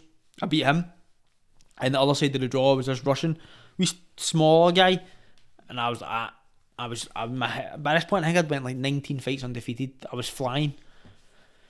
I was like, I'm gonna absolutely smash this fucking cunt And into the ring the next day, and the next day for the final. Oh my god, he's still to this day in the top three or four people, for top between the top five boxers I've ever been in with. He's one of them. He smashed my cunt. Did he? Oh, he brought me. lesson. He brought me down to what I needed to be. I don't know what. I just assumed that I would walk through them or I'd be too big for them. So And do you your head was kind of get you're getting ahead don't of know, yourself but- a bit? So but just the way- confidence was just reaching to a point where your ego but in a way, you've got over. you've got to have that Aye, because if you don't have it, nobody else is going to have it for you. Aye, aye. Oh, I remember everything. He everything I tried today, he had an answer for it. He could box southpaw, orthodox, forward, back. Oh, he lettered me. So I remember getting back to the corner in the fourth round, and I was like, to him, I was so frustrated. I was, I think I was nearly greeting in the corner, and my dad's like, "You're just gonna have to put it, put it on him. Like you're gonna have to like adjust to what you're doing." And I went out, and I just rem- always remember still to this day. In like the first twenty seconds, I punched him in the balls. just to try hang him, and all that done, aye, and all that done was make him more mad, and they just battered me even more for the rest of the fight. and I always remember that. But one thing I learnt for him, which I still to this day, my nose was burst in the in the, the last round, and on the blind side of the referee, he had Velcro gloves on. Mm. And he put the Velcro bit in my gloves and was rubbing all the blood in my eyes and all that. And he Who was done that? The Russian. And he was laughing at me. But was it? But, but was it in a clincher bit? Aye, and I clinched so in the Oh. blind side of the referee. Ah, He was right. So rubbing he was on him. starting to play a bit. he was run- I'd punched him. I think I just made him more angry, and then he just wanted to. Oh, and he, he fair enough. He, and I was like, but don't get me wrong, he was unreal. The next year, the next the next couple of months, we go to the European Championships. Don't get me wrong, it didn't do anything to my thing because the next month we go to the European Championships in Poland, and I get drew against a European champion for the couple of year before for Ukraine, and I beat him. And I'm like, ah, it doesn't affect. Then I get drew against a boy for Azerbaijan, and he beat me one 0 on points. Did he? Aye. So between four two minute rounds, the judges said that one punch landed in eight minutes between the two of us and get beat one 0 But So that, that one punch was the difference between you getting One 0 Who the fuck's get Or beat one? 0 in points? And and he don't get me wrong, I was like fucking devastated. But the, that Russian boy who beat me the previous month in Germany, he went on to win it. He Oh, was did he? Aye. machine Is he still active now? No, it just disappeared. That's what happens to a lot of the Russians. They just there's that many of them. They're so good, and they just kind of get they'll, they'll be so they'll win everything, then they'll disappear. Really? Aye. That's weird. But he's but back then, still to this day, the top five boxer I've ever been in. He was Right. unbelievable. Mm-hmm. So it goes for that. Then d- dust yourself down. You go to Europe. You go to the European Championships. Got lost to that boy one 0 Now once that ends, that's in August. That's now me a senior. Right. So I'm like So is this you boxing punch dads basically? fighting guys older than my dad that now. So first tournament, go to the go to the Tammer tournament in Finland. Flying. Had first first tournament, four fights, three wins, got a silver medal, my first senior tournament. Right. That's And I was like, ah, this is easy. Go to Macedonia, same again, two fights. This time I won a gold medal. But these countries, you're going to these fucked up countries, Macedonia and Bosnia and all these different. I'm boxing for like 35 different countries all the world. Really, aye, man. Scotland, it was I think It was unbelievable. just it was opening your, your mind to other cultures as well. to everything. But don't get me wrong, you didn't really see you seen some some the odd day, but most of the days you were just going to plane, hotel, fight a cunt, home, next day, hotel, venue, fight another cunt. That's how it works. so really So at the end of the kinda- tournament, you have a day before you go home. You kind of see different things. But Right, in right. amateur boxing, you've got to every day you fight, you've got to weigh in. So you can never like go enjoy your food. Mm. Ah, I suppose. I suppose. And after that year, I just kind of push on. That was my first year at senior. That was in 2009. And that, that's me a senior. So won two, won a silver and a gold medal. And at the end of that year, then 2010, entered the senior Scottish Championships. Win that. That's a big thing day as well. Mm. Then later on that year, bang, go to Commonwealth Games.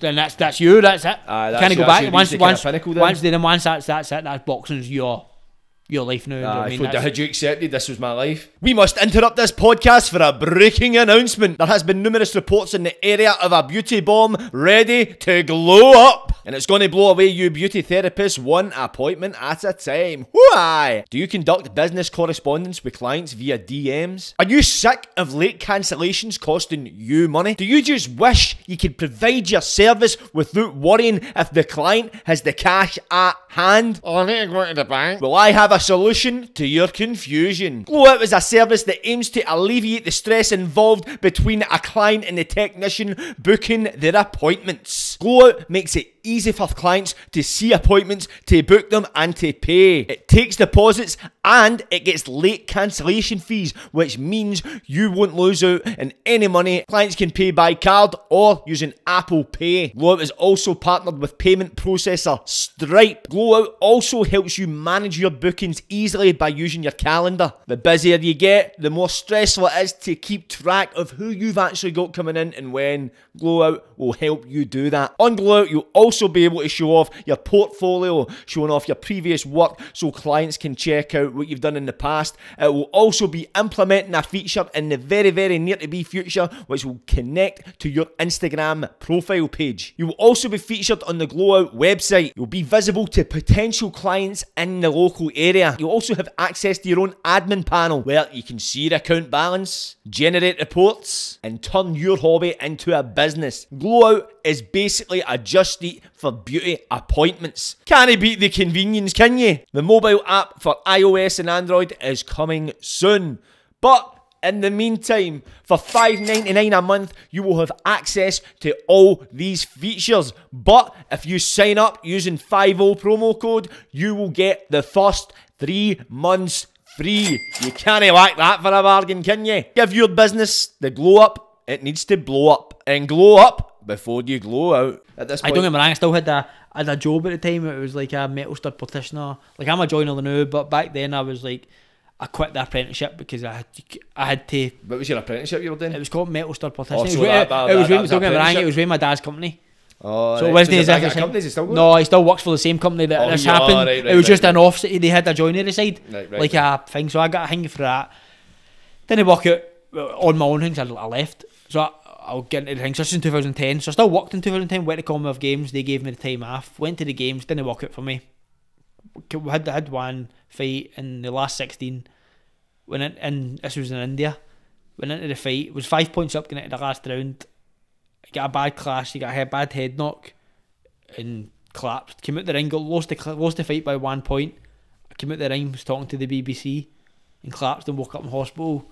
Like Did you collapse for the head knock? I don't know. But the between the head knock, dehydration, heat, Mm, exhaustion. The fight was a fucking war. Aye, is that a different thing you need to get accustomed to as well, like the humidity in certain countries? Aye, like that was like uh, for the Gorbals, you know what I mean? We don't, it's, not, it's no like forty. Or was jump into the steam room in the like, fucking Gorbals like, it was Leisure like Centre 40 degrees, and then spa. this, this venue was so. And don't get me wrong, I think it was more the fight. And uh, the guy elbowed me like in a, obviously it's not intentional, but in a clash, I, it was like a, a knock inside, Aye, and I had a big massive lump in the head. fucking hell. And I came out the ring and I remember talking to the guy in the BBC, and that's the last thing I remember. Did I you feel up, it coming on? no, I woke up in uh, hospital. Aye, fuck's sake. Yeah, I How long after did he collapse? I Did think you it was like a day. So it was a full day with you I think for? so. I I was out. I was think I was coming about, and I just remember waking up like whoa, Fuck's sake, man. big massive lump. So what was it He collapsed of? What did they diagnose it as? It was just like a concussion. Right, so was it the concussion he collapsed or was it a mixture of things? I think it was a mixture. I think it was concussion? more the heat and the exhaustion, the exhaustion of the the fight as well. But then when we done that, it's- you, live and learn. You know what I mean? You Ah, kind no, of dust yourself down and you go. But it was some experience getting to the Commonwealth Games. Most people, if you go to a Commonwealth Games, and that's just, that's the pinnacle of amateur boxing Mm, in Scotland because the odds to got at the Olympics is very very rare. Mm-hmm. So you get to the Commonwealth Games and then usually most people turn professional. But I was only either 18 or 19. I was still very young. Mm-hmm. Then in my mindset, the next Commonwealth Games is four year away, but it's in Glasgow. Aye.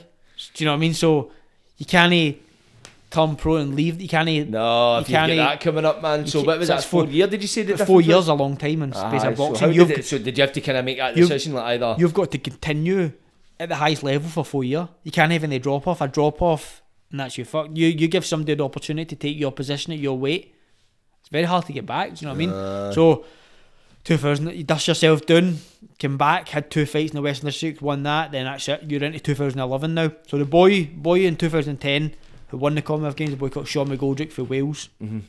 He won the Commonwealth Games or he. So 2011, I win the Scottish Championships as a as a senior. I'm senior now, so I saying you win the Scottish Championships, bang, that's you.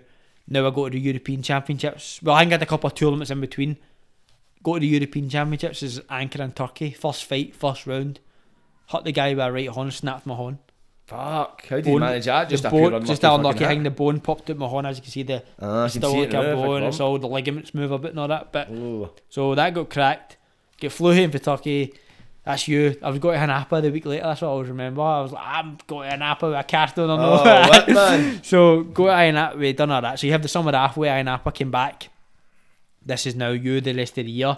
Had another couple of fights, and then you go to the British Senior Championships is in London. That was in the November.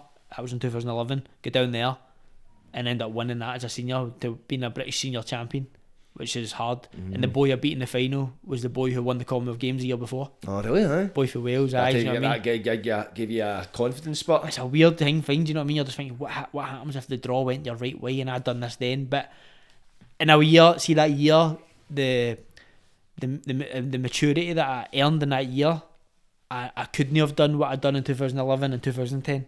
No, I don't so know, You, do you- you needed it. What do you mean in terms of maturity? Just in gen- just the way, like just my body shape, just my confidence, just Right, right. just a whole host of different things.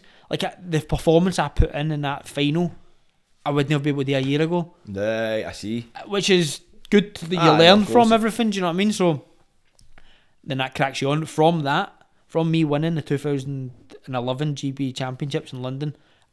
I get offered to go into Team GB, and that's, that that's feel it. getting offered that, man? I was like, "Ah, I've done buzz, it. You're like, I- that's I've actually a pinny quiz to get down there. Everybody wants to be a GB boxer, kicking about in your GB tracksuit. and all. He's a level It's just, innit, man? aye, do you know what I mean? You just think you're like fucking the Don. nah, what did you notice see when you started to box for Team GB? See in terms of like the facilities, the training. Did you know it was an an upgrade, an increase? It's a different. It's like it's like boxing. It's like playing for Partick Thistle, then got to play for Man United. Right, really a See- big difference. In what way? What did you See notice the facilities and out? that. No, it's, it's like something you've never experienced before. Now Scotland is is up to it. We've got our own gym now, Mm-hmm. but back then we didn't. Right. We were training in Maddock in random club gyms every Sunday and all that stuff. Whereas they have a centre. It's it's like a full leisure centre. Just their Right. gym. It's game to them. They have access to everything. They've got about, they've got six rings. They've got running tracks. They've got their own accommodation. They've got the best of the bags. They've got the best of strength conditioning. They've got physios, psychologists. You name it, they have Really? it. They're the Aye, best. that's why they're, they're they're so good. Mm-hmm. Nah, of course you're going to need all That's that. That's why they're so good. You- at the top level. But back then, that was that was in 2000, 2011, and that was me. I was on that to 2013, and it was uh, it's good though. It was a good experience. Hmm. But I preferred being up here. I didn't like. I was, just- this was in Sheffield, so you had to move. You had to go down just, uh, every week or every second week. You had to go to Sheffield and stay down there for five days at a time. Right. I suppose it just get a bit of homesickness, was it? Ah, I was in homesick. I was just like, you just missed like. Even though I didn't drink, but you you missed so much. Nah, socialising with Ah, your just pals, your just kicking you're about your scheming on it. missing so much. You- I- Scotland, it's a fucking accent just as trying well. and missing different things and all that. But in a way, things. But then come back up 2013, left GB. Now same idea. Go to the European Championships, go to the World Championships, and this time the Commonwealth Games is now next year. Mm-hmm. This is when it gets. So it was approaching. Aye, this is when it gets proper. Everything now is game aiming towards that now. Mm-hmm. Then when that go to European Championships, then the next year go to the World Championships in Kaz- the next month. Sorry, go to the World Championship in Kazakhstan. Now the boxing life's changing. Now the head guards come off. Right. First time. Was this a big? Did you feel notice a big difference in this? Aye, because it's a never done it. Right. So you'd never fought without a headguard before? Never. Never. So how did you Ne- adjust never to even sparred without a head guard on. Really? So how was the adjustment? It was weird, Do you know what I mean? Because you could see so much men in front of you. Cause, Do you think it worked? It was better. but so many cuts happened. No, for me personally, but a lot of just in general. Mm-hmm. But it, they've stuck with it, and I think it's for the best. It's, it's happened. Think so? How so? Aye, because it sets you up getting into the pros. I suppose. I suppose, man. Do you know what I mean? So now, now you're out into the pros. Aye, you're getting into the pros, and it sets you up. So they set into the pros. So that was in 2013. Then 2014. Now that's Commonwealth Games. Mm-hmm. But still, your your place is not cemented until you win the Scottish Championships. Nah, so This, still that this, pressure to do this that. year, but the Scottish Championships was in the Velodrome, the Chris Hoy Velodrome, fa- facing Parkhead. Uh-huh. That's in there, and it's like a proper running track stadium. There's like six thousand people, and for a Scottish Amateur Championship, that's rare. That that will never happen again. Will it? No, no. No, no, no. For How, no, What is it often in front of? What, what's the kind of capacity? maybe five, six hundred, seven hundred. This one had five. It was mental. Is that because it was gearing Such up for a- the Commonwealth Games? Now everybody had the Commonwealth Games buzz. Ah, I see, I see, I see. And Boxing Scotland did a massive thing, like by they promoted it so well. They had the best fight and the best by just by chance, no by fixing because nobody got robbed. Only one person, boy from my gym, Stuart f- should have maybe fought. He bit boxed one of my best mates, Lewis, but two of my best pals, I can't. Ah, I can't go again. no. But I, up but then he something. Lewis as the boys my best mate. But we kind of a lot of people thought Stuart beat Lewis, but uh, Stuart, I think he just chilled. But he ended up he comes back into the story. He turns professional. Was but I, me, and my dad, my dad trained me, Stuart, and the boy called Steph Lavelle. The three of us boxed in the same European, same thingies, and then the three is was we're on the same different training camps and all the different things to go to the Commonwealth Games. Right. And uh, Stuart just missed out, but me and Steph went. But Steph got a bronze medal there. He boxed from my dad as well, so Oh, right, we had well. thing. So Stuart missed it. But when we go to the go to the Scottish Championships in the final, it was unbelievable. See fighting in the fucking the velodrome. I had so so many tickets. You stay in the Gorbals in the corner. aye. Everybody come to see. you. It was like a tenner a ticket. Atmosphere unbelievable. Talking about pressure, I felt pressure doing that. Did you? Was that just because you had a lot of home support? A lot of people come to watch you, and you win this, you go to Commonwealth Games. Aye. Did, did, did, does pressure affect your performance? I know it comes. I, I, I did a wee bit in certain, pro fights, but this was back then. or positively? Some people Neg- perform aye, better, but some- some, people it goes against Some people were kind of always felt I thought about it too much. Mm. But and as a p- amateur, I was like, I'm gonna swing this cunt a bit. Aye. I get in the first round, man. I knocked him out. Did you? I knocked him out in round two, put him down my body shot, and that was what a feeling. That was one of the best. That was a good buzz. Aye, Just to, for everybody, people get after. it's a people, what a way to kind of people get after that, and you don't see knockouts in amateur boxing. I know, I know, it's quite a So see thing. today that people, everybody's getting after that, and I would jump. That that was a good buzz. Win that, then bang. That's us. The, the team got basically announced on that thing. They ten winners. Mhm. You had me.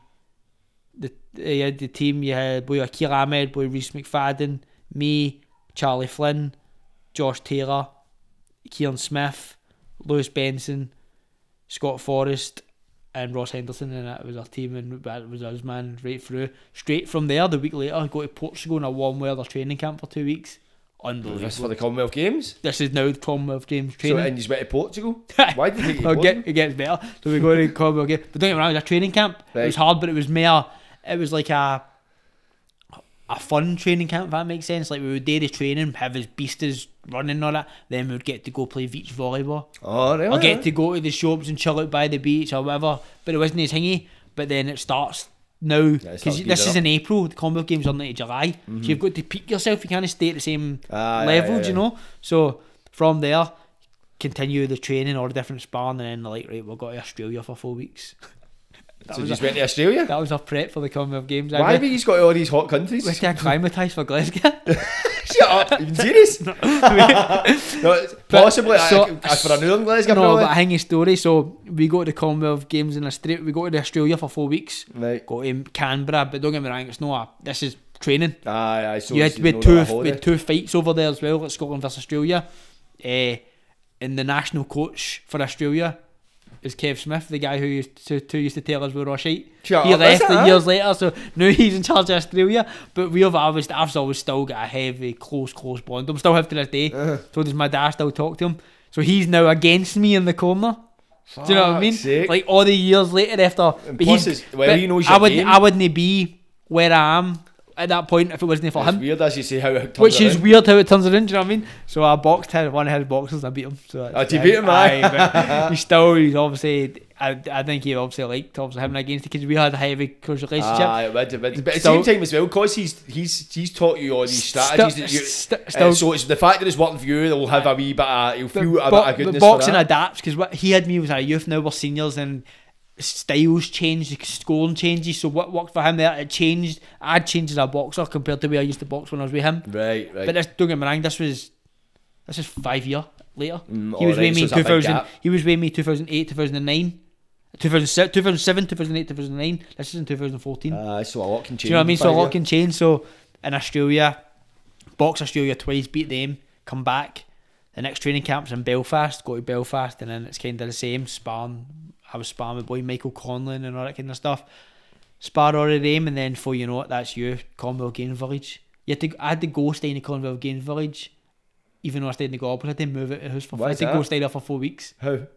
You're not to go to your house. You had to you? stay in the village. Why? In case you're the fucking trying to jag yourself or something like that? I don't know, eh? anything. You know what I mean? They had us all together. Just in case you got away and injure yourself. Nobody some could come in. The only time you can see your, your man da whatever is at the boxing. Really? Aye, you wonder what they- you wonder so what, were you shacked up with some cunt? I, it's all, all your bo- all your pals. Aye, all the, the, the squad. Aye, all your squad, it was just- I've, I've never been to the villages at like fucking hussies and shit. Oh, it was all houses now, aye, but it was all, all the village, all the best houses. It was, it was state of the art. Aye, 'cause I, think, Unbelievable. 'cause I remember they built it just for that, didn't For they? that, now it's all just gaffs. Aye. Belters or houses, but they're saying so. I walked in and there and it was we all your same with your pals. You know what I mean? You had two houses, and so you've got all these different sports. You've got like netball, volleyball, table tennis, running, athletics, rugby.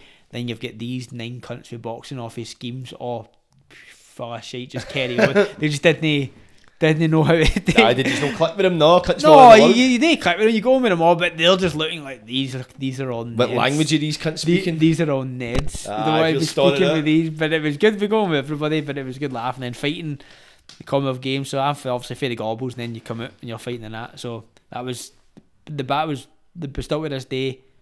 The best buzz I've ever had was walking out of my first fight in the SECC, fighting in the Commonwealth Games, of your home country. It was hmm. not like oh your home Would city. you say that was probably your pinnacle at that point? Nothing I've ever experienced like in my life. Still with this Still day. to this day, Still even this day. That walking out and in that first fight, getting your name announced because the guy announced I was Craig Stevens. He's knows all for years, and he announced us all in.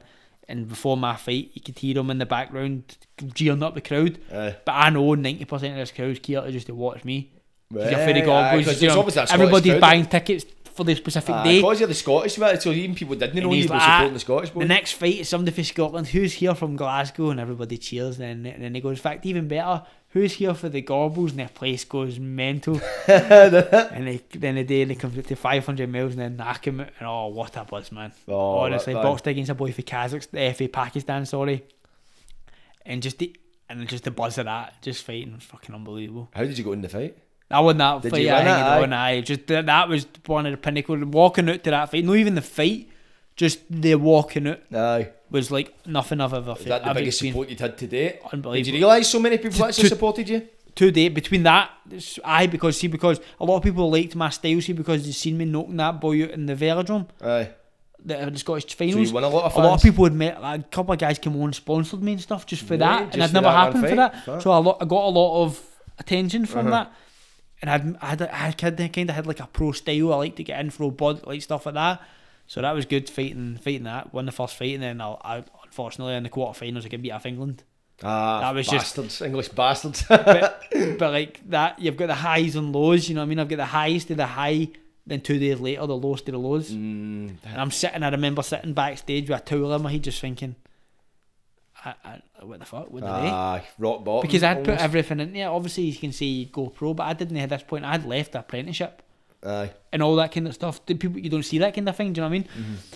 I'm like, what the fuck did they? Obviously, I'd, I'd made my decision. I was going pro, regardless of what the games I was going to do. Everybody did, and I kind of announced it. I was going to turn professional. So I'm sitting there backstage. So I, after the Commonwealth Games, it is what it is. You dwell on it. My man dad actually get married like a couple of months later. They get married when they're, they're fucking 40. So they get married. Uh, and I'm just kind of chuckling and then I go to Ibiza. I remember sitting in the, the Playa d'en Bossa, like the Jet Apartments it's called in Ibiza, just no far away from Ushuaia. And I'm just sitting there and I'm thinking to myself, I need to get a job or something. Like, it never crossed my Right, mind. so reality kind of hit you after Aye, that. I was like, what, what the fuck? Obviously, you'd be a pro boxer, but you, you can't. You're not just going. You need something to have like Ah, a trade or ah, whatever, like a and put a everything in. And I had never realised it until I'm sitting in Ibiza. what a place, especially sober. I think I was sitting. I was so. I got. I think by this point I had a couple of strawberry daiquiris, Aye, like, I've, and I'm sitting. And I've I, got a strawberry daiquiris and in I'm, Ibiza, you're like, and I I'm, and I'm sitting, but see, because the amount of people that came to watch me in all these fights, I had got, I'd built a good relationship with different people. Mm-hmm. So I messaged the woman at the time, was a Lord Provost, and I happened to have her number, which is fucking fried to think. and I just texted her in Ibiza for this story back. He's like, "Hi, I know it didn't work out. I appreciated the port come because I got introduced and she came to watch and all that stuff." Mm-hmm. And I was like, "I'm just looking for a, a pre- or something," and she was like let me see what I can do. She got back to me. She's like, I would love to have an interview with City Building. Back and so I had an interview. This is fucking funny, right? So I was, I'm the cleanest cunt in the world, right? I've, n- I don't do anything like I've always have. I'm st- very strict to what I do.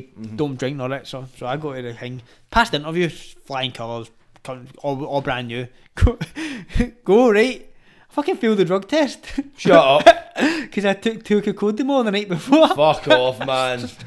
So I'm sitting, I pee into the cup, and it comes up, and the woman's like, "It says here filled in opioids." Like, That's like heroin, in it? Like, op- but that comes under the same thing as like codeine. Aye, aye, opioids, aye. But see, because I wrote on the sheet things you've took in the last week, Aye. I wrote Aye, you wrote the co-codamol, co-codamol. and she was like, "That's that," and she just said, "You failed the drug test." I was like. I've been spiked.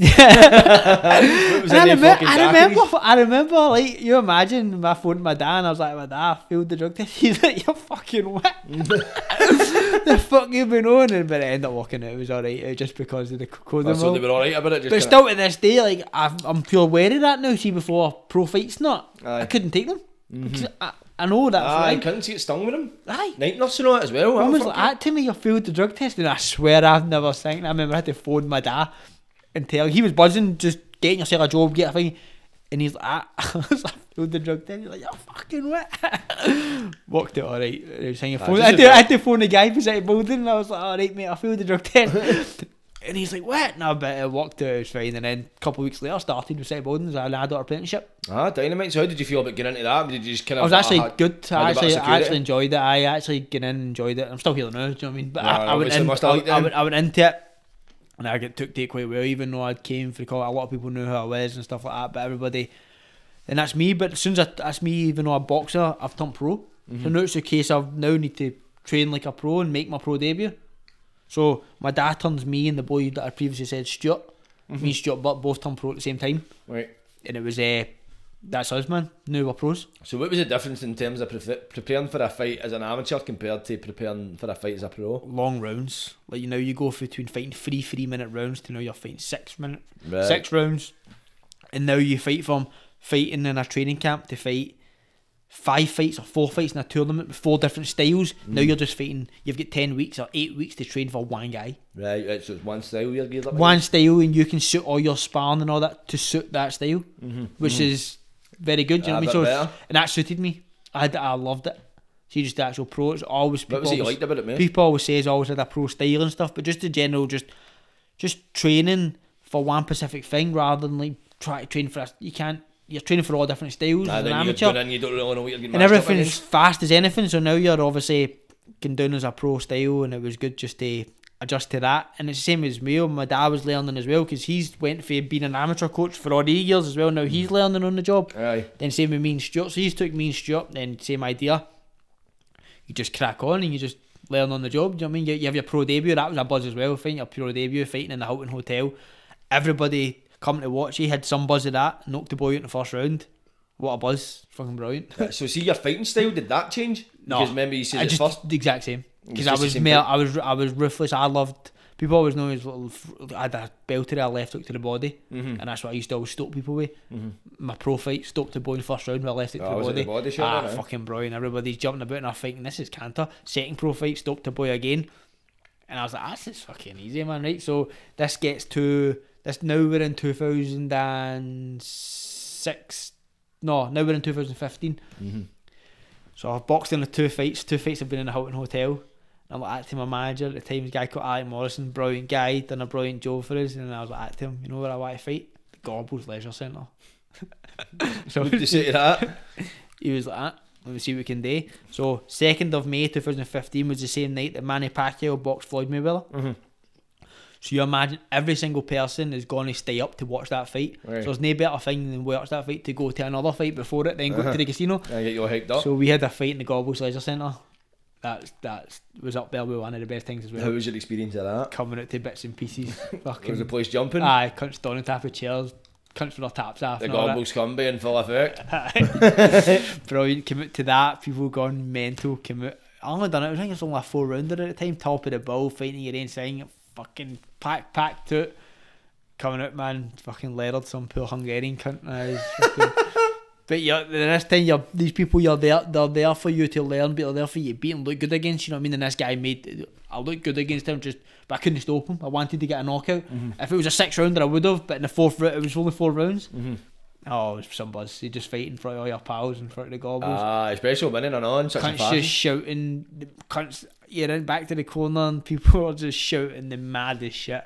Just fucking smash his cunt in. You're not getting done. then I remember, then you've got it in video. So the guy's corner team is a mad older guy with glasses. That was his coach. And here on my pals like, shut up, you specky bastard. And all oh, fuck's sake, man. So, Mad cunts, so but- this is on this is my third pro fight. So then then you'll just kind of crack on. Then you move move on for that. It was some buzz. So what we see at that point, you were four and zero as a pro boxer. What uh, do you think you learned a lot in that short space of time compared to your amateur career? Is there anything you picked up differently fighting the pros? Nah, just to to take your time a bit more and just. But then this is where we veer off to LA.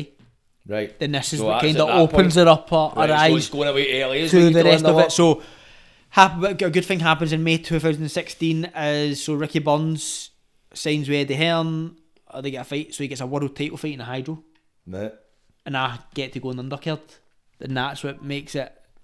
You're like, off. That's fucking good. Right, so so, that's your biggest so like. I so had the fight on undercard. The Ricky Burns done a six rounder fighting on Sky and all that. That was some buzz. Just a different place again. Mhm. Same again. A box. He defends his world title this time. Defended it. A box on his undercard again. It wasn't until the year the year later. Um, he, he's world champion, so he fights another guy for a world title. A guy called Julius Indongo, and I got a, I got my first Scottish title fight on the on his card Oh, on really, Sky, fighting for a title. Now you're fighting ten rounds Right. in the hydro, so and that was, that up, was good. So it was round about that time as well. So I'm still working for City Building at the time. I'm running, what getting a bus or a train to. I'm getting us, or I'm getting a subway or whatever to the to our site. Our site was in Broomhill, just doing a Partick. Aye. Then I was getting that, doing a full shift, eight to four. They on the, you're on the tools, you're you're fucking grafting thingy. Then I would put a full sweatsuit on and run to the gym, straight to the gym for a two-hour session, then go home. So I was leaving house at seven in the morning and not getting home to eight at night, and it was like that for like the first two year and a half, two years as, as my professional career, Really? Aye. and I was feeling it coming out of the fights. I was fucked Mm-hmm. because I I was a hundred mile an hour than everything. No taking a break. So I remember being on the site and I get announced I was fighting for the Scottish title fight and stuff. And the guy, our boss at the time, uh, a guy called Chris Dobson's brand new, and he was like to me, why don't you ask like for some time off? And it never dawned on me. Do you know what I mean? I, I, one thing I was like, I don't like asking for stuff. Like I, I just always Right, is what it with. So I was like, fuck it, you're cooking right. So I knew the guy, one of the guys, Gordon Duggan, still still to this day, is one of the top guys at City Building, but such and such a good guy. And he introduced me to a guy called Graham Patterson at the time. At this time, he was a managing director. And I thought, fuck it. If you don't ask, you don't get. Mhm. So there was HR manager, like a woman called Sean McGrath. She's in charge of like all the, the media and all the, the HR and all your wages and stuff. So I went up to see them and she was like, What can we do for you? So I went up with my pal and he, I was just like, well, I was looking for to get time off for my fights but I still need to obviously live, so I still would still like to get paid. Mm-hmm. She was like, what would you need? And I said I I would just need like six weeks off to train for the fights, and in return I would put the City Building logo on my shorts and stuff. And she was like, done, Right there and then, done deal. done deal. No, see, that was decent of them, man. And and still to that day, that was in 2016, and I done that with me for until my last fight in 2022. Fucking hell, man. Six so they, feet. they honoured that. Six weeks every fight. Fuck's sake, man. And I always had the City to Building had the City Building logo on my shorts and done photo shoots with Wander's photo shoots of me sitting in the thing. I've got a drill in one hand, and a boxing glove on. There's ones with me. I've got a hammer on one hand. I've got gloves around my neck. And just just match it. But for doing that for the six weeks off, Aye. and they gave me six weeks off, full pay, let me do it, and let me do what I need to do, and that made a massive difference. That changed the dynamics of being a pro boxer. 'Cause You could actually train three times a day without having to worry about fucking going to hang a door. I know. Do you know what I mean? know, Just in a mate, busting your hole And there's, and there's no I understand it's a, it's a big company, but there's no many companies that would do that for you. No, definitely no, hundred Do you percent. know what I Because mean? So- Building's so big as well, man. If it And, was like and, and, they, and it was good, and it was good exposure for them as well. I suppose Aye, getting on things. So for the two. straight away, so like my building site at the time, thirty-five people took tickets, and all the people for the site came to the fight, fighting in the hydro. I sold like seven hundred tickets to all people, or, or the and that was uh, some buzz as well. So fight, fighting in my first get first title fight in the hydro. So see, see, up until this point, as you see, you've been busting your cunt, working at, your job and training for that fight. What did this day improve your performance? Now you were given like six week off before the fight. So much because you can just purely focus just on boxing. Aye, yeah, you're not There's not there's nothing else in distracting. You don't have to worry about fucking going to go pick up this cunt for what I've gone to see this person to do that job or got to Mm. see him to hone in your lines. Had nothing. I just people just left me alone and just my dad would say do this, do this, and then that was it. Aye, But the best thing, simplified the best thing, obviously, to get in amongst that time. So 2015, I met my girlfriend, Mm-hmm. my fiance now, Heather, and that was obviously a. You're going into a relationship and you've got to. It's hard to just to get in a relationship and then all you're doing is training. Aye, some people don't get. time. Some people don't get that that you can't go out and do this all the time, or you're going to the gym every day. I'm traveling to this place to spar, that place to spar, but she's been absolutely, absolute gem. Been with it, you know I mean? Still there. Aye, that's what you need. Somebody that's kind of appreciative of your goals and that kind of stuff, Aye, and, and the she's- fact that they make, make she was sacrifices. she was at every fight. She's been at every fight. Brand new. She doesn't get hanging. She's just there chilling. And She's a she's a diamond. So she's Mm. Amazing, good. man. So she's still we're still together. We've got boat in house and stuff. So now we're flying. But in that thing, in that aspect of it, so we're fighting in a hydro. Everybody's good. That's that was somebody's fighting there. And I always remember this is this is where so I had to make championship weight. So I had to weigh in at eight stone nine. I think I weighed in at like eight stone eight point twelve or something. And I mean I was skin and bones. oh really? Aye, pure crackhead cheekbones. I, I looked if I'd been full of meth. Heavy What crack. was your weight in between fights? Did you balloon a bit, or did I you was always sitting about 10 stone. I'd always put a stone it? a bit Right, on. so it was a fair bit. But this one, so I had never made the weight before. Mm-hmm. So I made the weight. And I just remember making the hanging and got to stay in the Crowne Plaza. Because that was we were fighting in the hydro, so I was like, I'll stay there, and that means I can just walk across to the venue, blah blah blah. And I remember my dad was like, before you, before you will come to my house and we'll kind of just go back through the tape. My dad's always big in it to like catch up and go through your your game plan and all that kind of Aye. stuff. And he's like that to me. See what weight you're. So I was eight stone nine, like the day before or on the Friday weighing in and your pants in the scenic centre. Then the next day he's like I jumped in the scales and I jumped in the scales man and I was like ten stone four. The I'd fuck? put I'd put on like fucking nineteen pun or something or 18, What 19 the fuck pun. did you eat? I'd spanked about four hundred fucking lemonade and limes. and I So was it all just, it wasn't just all just water weight, was it? basically aye. But Can you do that? That's fucking swear, mental. I swear, mate. So what honestly. does that do for your performance though if you're putting on that much weight? I felt as if I could run through a door. Really, Aye, eh? I felt like a so fucking animal. benefited you? I felt a unit. Bout shots would bounce off you, but looking back, I felt sluggish as anything. Mm, 'Cause I hadn't trained it that way. I hadn't sparred it that way. Right. See the actual when I look back performance, it was a decent enough performance. Won the fight, won the fight easy, but I, sh- I could have been sharper. And looking back, I, c- I could have I could have probably stopped the boy. Aye, Just aye, by if I was to switch on for what I'd done, but uh, you live and learn. You learn from So it. did do you you know learn what I mean? that after that? Aye, because I'd never done that again. Aye, aye, aye. My dad always made sure that I did it again. so that was the thing. So that was 2000. That was 2017. Aye, so from that fight, we go to straight to LA the week later. Right, Straight right. to LA, right in our training camp. Aye, so was that the first time you'd went there? No, that was At the second second, time? time. Second then. time I had done it the year before, 2017. I 2016 the first one. Went down 2017 and straight to LA, but it was just as good. But it was a bit different this time. 'cause I've just come off a training camp. Aye. I couldn't really give a fuck about Ah, so you were kind of like, did you still go and spar? Ah, you have to. You know Ah, what I mean? You can't you're there, you're not going to My dad you. wouldn't let you know spar anyway.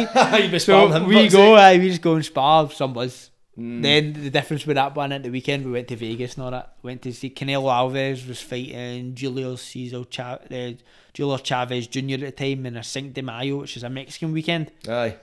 and it was uh, that was some experience as well. Got to got to Vegas and seen that. What did you get up to in Vegas? I'd have I've been to been I've been to Vegas six times. Since. Have you? Oh, I've never been. What a place, man! Aye, For boxing, and that? every time we went to LA, we always end up in Vegas for the weekend because there end up being a boxing fight on or Ah, just to break up because we had to have like Monday to Friday was just constantly just fighting cunts. Right, I then at the weekend we had a bit of time off and we drove. We used to drive from LA to Vegas, How long does it take? Three and a half, four hours. Is it? That's not too Right bad. through the desert. what Uh. a drive was unbelievable. Then since then, me and Heather have been back twice as well. Aye, what a place! Just in general, just a place where I bought where a Floyd Mayweather fight and stuff. Oh, really? But with Aye. Heather or No, when, when me before that, me and my mates ended up going as well. So I ended up being rapid. What a place! But I didn't drink, so it's an excuse to get mad Ah, at. totally different. Just, just a different experience. experience. Mm. So we we done uh, went to that, and then it was just kind of you just crack on with your career and just kind of hang on. But then that's when it starts to get. Now you're into title fights. You don't want to go back the way now. No, that you thought. So like, and then the next year I got myself in a British eliminator, and I had our first away fight in Belfast, and that's when it kind of changed fighting in big shows. And I lost. That was my first loss. Lost in points to a boy. How did you deal with that experience? You've kind of got had experiences. We had losses as an amateur. You dust yourself doing Mm, those. so it was not your first Can loss. it- Was there anything you could have took for it though? Did you take anything it? or- Aye, obviously just What's fight, the difference fight- between losing as an amateur to a pro? Because I imagine it's a bigger scale. Aye, because as a pro- amateur, you just fight back the, the next week. Aye. As a pro, you've now got to wait another opportunity to come again. Do you know what I mean? Do you think that does that frustrate you if you Did get it, beat and did. you kind of need to wait? Did I at the time, and it's kind of a lot of things went on, and then you just kind of just dust yourself down, and then go again. Mm. Just no crack point- on. No point moaning about it. I know, definitely. And if you don't take the opportunities when they come, you're never going to get them. Do you know what I mean? So Aye. that was good. But growing up, obviously, even though I was still staying the Gorbals, still staying with my granny at the time, and the Gorbals, and obviously, even though I was pro, everybody still came and supported all the pro fights. People don't have to do that. That's the big part people didn't see. Selling tickets and shit like that. If some people, if you don't, if you've not got the right kind of people, if you don't sell enough tickets, you don't fight. Mm, nah, so people don't see that side of it. So see if you've not got like a group of people or sponsors or whatever it's not going to watch you. I think well, one thing I've always had doing the Gorbals is the support. a- Even when I'm like, so obviously it's, even though it's uh, it's nice now, it's still kind of rough. But you still get the odd bit of fucking mad cases jumping about. But, Ah, it's the fucking but it's everywhere. But I got on with everybody. Uh, But uh, one time, like Heather, my girlfriend, is the total. She's obviously grew up in Clydebank, but she's she's quiet. Like she's no grew up in a scheme. mhm. So like one one night we were out jogging, and we we're down, down past it's like the Clyde side, and you've got all these wee guys and they're all getting mad at it. So like you have to run down a path before you get to them, so they can see you through the bottom before you kind of get. So I run down the Clyde side, and all you hear is. Let's smash these cunts. One of you guys. I'm like, ah, oh, for fuck's sake, man. Hell's like, I'm, we're not going down on that. I was like, I was like I'm not adjusting for a couple of wee guys, you know what I mean? but I dress, I always had the snood on, black. I dress, I'd always look like an assassin. I always wear black. Me and my dad are the same, just always black. The only thing that ever changes colour sometimes are trainers, but always black, man, right? So I'm dressed head to toe like an assassin. They're singing, and all you hear is, let's smash these cunts, man. And I'm like, oh, for fuck's sake. So, hanging down, and I get on the course, and then obviously I put my hand down, and for sure, thankfully, one of you guys, like, oh, right, Joe, what's happening? And they'll just spot on, you know what I mean? Because they know who you are. Because all these wee guys, when we had an amateur club, you saw the wee guys you see about, Aye, they're all, the they're all brand new, they're always, they're always sound, no trouble or whatsoever. And I just always remember that. And hell's you're just thinking to yourself, what am I- one one of you guys? What happens if they didn't know me? But some poor company's getting weird. I know, mate, mate, it happens, man. I know. Then the another funny one was man time me and Heather we came back for the tune. I think we were we were getting something to eat. We went and picked something. It was a Friday night. We went and go pick, pick something up in the for for food and parked up the motor at the time. Got the motor, so we're walking for the motor into the close. Next thing you know, a cunt balaclava on, big kitchen knife. Was like that to me. Shouted it was maybe about hundred years away. Shouted, "Oh, you're taking me along to a do a cunt." I'm like, ah, fuck.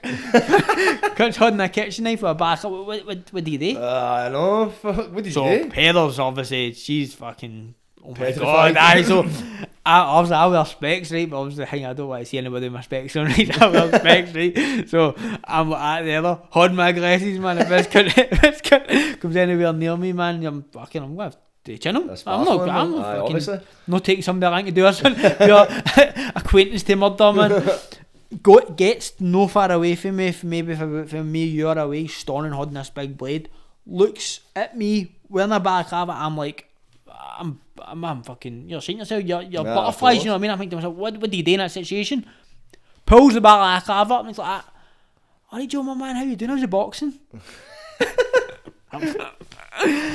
I was like, oh, fuck me, man. I was like, alright. I was like, and then obviously I realised to it, and I was like, what the fuck? I was like, what the fuck you doing? He's like, ah, comes getting waiters on Facebook. I'm just gonna, I'm just gonna do him. He's like, ah, you're doing heavy well for yourself, man. You're doing heavy, done, done scheme proud and that. He's like, ah, catchy, back away. You fucked off. And I was like, oh, what the fuck? Like, What just happened there? aye, Did they still have the blade on him? aye, Is big, just walking about with his horn? aye, right back down, man. Just passed it away, back, away back again. just, Fucking crackpot. Right, so Heather's like, what the fuck? So how the fuck do you know these people? And I'm like, thank fucking know the people. I know, man. do, do you know what I mean? But it's Like, mental the cunt's just like because he didn't know you, thought he didn't You're know you. taking- I- you're, you're taking my line to do a cunt. I've got my specs, my hat and all that on, just just mind the main business. And oh, you're taking mine. And obviously I'm had to take my hand, I've took my glasses off. And he's like, ah. Alright, Joe. How, how, how's the boxing? Fucking hell, man. I was like, ah, oh fuck me. Don't get me wrong, a party obviously is like, Ah, you shit yourself, cunt's got a fucking big fuck, blade. man. And he's like, ah. so I go, I swear, up the house in hell. I was like, oh my god. Next thing you know, man, five, ten minutes later, he hears a commotion, man. He's getting chased along the road with a cunt with a machete. A bigger machete. I pick up and you're just like, ask the Gorbals, man. Like, Sometimes you don't hear anything and then a lot happens in that thing. no, silence is usually an answer. But thank, fuck, is- thank fuck everybody leaving with the nerve because I've never, that's the only time Aye, I've just ever- as well, But that's a weird situation. I remember saying to my dad, my dad was like, oof, man. My dad was like, it's a fucking cracked him. I was like, oh, fuck's sake. But That's I, the thing, but you're hoping you're fucking catching my good man, or you're getting hit with that sword. exactly, like, what do you do in that situation? Just well, you knew the cunt, man. Thank fuck. Fucking hell, man. Honestly, thank fuck. And I just remember Heather was telling, I was talking to her a few weeks ago about it, and she was like, "Remember that? Like, what, what do you do? What happens if that, that I didn't know that boy? Some cunt was getting made to go along and be, Aye, a, ah, be an was- be an accepted and else he was going to be the one getting chased with the fucking ten or so off somebody else. You know what I mean? Hell. Mental. It's funny, And you still stay there. Bro, never leave. So the only thing I'd done with that, I actually moved for the Gorbals. Now I stay in Oatlands. Is Just Oatlands that bit? It's like see where the roundabout is. There's like two fucking roundabouts. Aye. Is it the other side? Aye. I know exactly. So Yeah. if I can, you can just join them off of Polmadie. I so know basically, exactly. Yeah. everywhere Shawfield Dug Stadium is. So I, I stay in the nice part now. Aye, I know Still the. Gorbals, so What, nobody the from Newtons the na- nobody from down there grew up in the Gorbals. They have never, they Oh, don't yeah. know what the Gorbals is. Really? Aye, Aye. she's all just mad outsiders. Aye, they're all the way from from Oatlands. Like, you stay in the Gorbals. Uh, Oatlands. Aye, Oatlands. Oat- Oatlands, the new Oatlands. How long is it before you get they try and get rid of the Gorbals moniker? Because Gorbals is pure schemy. So did the Gorbals. well, the all the high flats are coming down now. So there's, there's four high flats in Waddell Court, and there's two high flats in Caledonia Road. Caledonia Road get officially that's coming down next year. Mm. And then that'll only be Gorbals was always known for the high flats. Ah, there was always them lo- there was always loads of high flats, and then now they're coming away. And that that's where uh, now they've moved the people out the flats into nice houses. But now all the houses, it's every house. There's no bad streets anymore. Uh, yeah, is it? It's all quite nice. nice. It's nice as fuck. Aye, everything's everything about it. Even the the health centres are up. Mm, I'm The- not big in the uh, health centre. uh, The police stations are mad fucking The, a big the, the, blue the police stations are built up. The health centre used to be. That was the worst part about it. Probably we used the old scruffy building. Now that's an absolute fucking. It's like Dubai Mall. so, I so that can't even a mad mate. There's It's just just, just new of that you wouldn't even know unless you were looking for it. You wouldn't even know what it is. So that's all new. Everything's shit about the fucking libraries. There was bits of grass that looked rough. Now it's got brand new flats on it. Aye, aye, The no, roughest heavy- part, the heavy roughest, went over the roughest part in the Gorbals is is their graveyard, but that'll end up being a fucking outdoor pool or something in a Aye, no years. doubt, man. That'll be a theme park soon, fuck's sake. Aye, man, that'll be an ice rink or something. They'll do something, they'll do something good with it, man. They'll, they'll hang you out a bit. But other than that, everything else is, is good. Nah, dynamite, man. It's, it's one because they've gentrified it. It's sake because it's so close to the. the But it's got a lot of people town. still in it, like all the different things. But everybody for down there, no matter what, everybody's always say alright and never have any problems. Even Mm. for the guys for the the corner shops to the chippy to being in co-op to everybody, everybody's always saying. But uh, it's always been like a bit for myself. I would always give everybody time. I'd always go on with everybody. I'm no a cocky cunt. I'm no cheeky. I'd like to go on with everybody. That's the way I've always Nah, always been just that way. You know what I mean? you get, until you get, you until somebody out. cracks us when I'm in the ring, I, I change. Aye. Aye. It brings it down on one you. I try to die. Then I still think it did. That. I always said that, man. I would, as soon as somebody hits me, I'd, I'd, that's it in a ring. I'd just change. Ah, the But then, then, it- then as soon as the bell goes, that's it. Mhm, mhm. It's weird as anything. Do you think that's done a lot for you? See, Jink, would Jink see if he didn't have boxing, would it have been different out in the street for you? Nah, because my because you got my dad that didn't drink. In terms I- of I- like violence, do you think it would would have been more violent? Or do you- as you say, you're, I there's can't no. s- imagine it's it's that's it's either it's either in there or it's no. And o- obviously I've, I've seen it growing up, all different things, people getting fucking stabbed and all kind of things for different. But I've no. I thought, "Ah, fuck that. Aye, aye. Do you know what I mean? But there's a lot of boys you grew up with end up in the jail or end up fucking deed or, or whatever. But I've never been about that thing. Don't get me wrong. Because my dad, he's the coach, man. You'd never fucking used to go home, man. I used to hide. Instead of people who'd go out and get mad at it or drink, man, I used to be hide. It was a pure, pure thing, man. Getting home, man, with hid, hiding jars on a tailor in my room and all that. that, was, that, was, that was my fucking. That was my. that was my that was your drink. That was, that was me being bad, aye. But other than that, growing up down there was fucking brilliant, and everybody I says, everybody to this day, always gave his full support. And now, I've finished my career. Now I can go into the coaching side and doing PTs and stuff, and a lot of the people will always message me, and now I, I'm going still to plenty keep of back. support. Aye, hundred percent. Nah, see, so see for like when you experienced that loss uh, in Belfast, compared it up until when you decided to retire. What went on in, in that time? What changed for you as a boxer? COVID, man. COVID. Oh, fuck So that. it's that fucking hit you hard then? Aye, like don't get me wrong. On the, the fight before COVID, so that was COVID when the COVID came about. I was like 2020, wasn't it? Aye. March or tw- like around about that time, mm. wasn't it? So in 2019 in November, I had a, a title fight on Sky, WBA, and I had the Hearn show, and I actually boxed the boy who beat me in the Commonwealth Games, boy called Qais Ashfaq, mm-hmm. and fighting in that didn't really feel as good as what I could have. Lost the fight on points, but I didn't lose it on points because I got an elbow in the head, so I got ended up getting a like, massive hole in my head. My Fuck. head burst open wide, so the fight gets stopped. Oh, right, right, right, right. but because it been past a certain amount of rounds, it goes to points, and he'd Yeah. won more rounds, so I lost him points to that. Then from that, I didn't fight again until two year, Really? what I mean? For another two year, a Two full year. two year. two year Fuck's sake. So, but you still training in that, aye? To, to an extent. How Aye, you can only still- you can only tra- don't get me wrong. I've always because I don't drink in that. Aye. I've always I'm always fit. Uh-huh. Always been fit, and my dad because my dad's always had as as in the gym training, so I've I've has always been. I was always fit, but it's difference between fit and fight fit. It's Uh-huh. two different things, and it's training. You can train as much as you want, but see if you've not got a fight date and an actual opponent, it's hard to give your all when you know you're kind of got nothing to come for. Uh-huh. There's only so many rounds. You know, there's no point in sparring every three times a week or two times a week with nothing to game for. I You're just know, going to end up. You need that added Uh, motivation, you end don't up you? just talking to doors, man. Doing the lines, you know what I mean? Aye. My dad's always good, good, at that. He's like, there's no point just sparring for the sake of it. So he would just have Aye, his body sparring. brain cells. Aye, you're just not getting punched in the head. So he would have his body sparring, which is kind of the same, except you're just getting punched from the shoulders to your hips. So you- but you can, you can still go full. It's full out, Uh-huh. and it's still very intense, but it's not as the same. Like you don't, you've not got the same defense because you're like, I'm not going to get punched in the face, so you're just kind of lackadaisical messing Mm-hmm. about. But that kind of the COVID fucked it.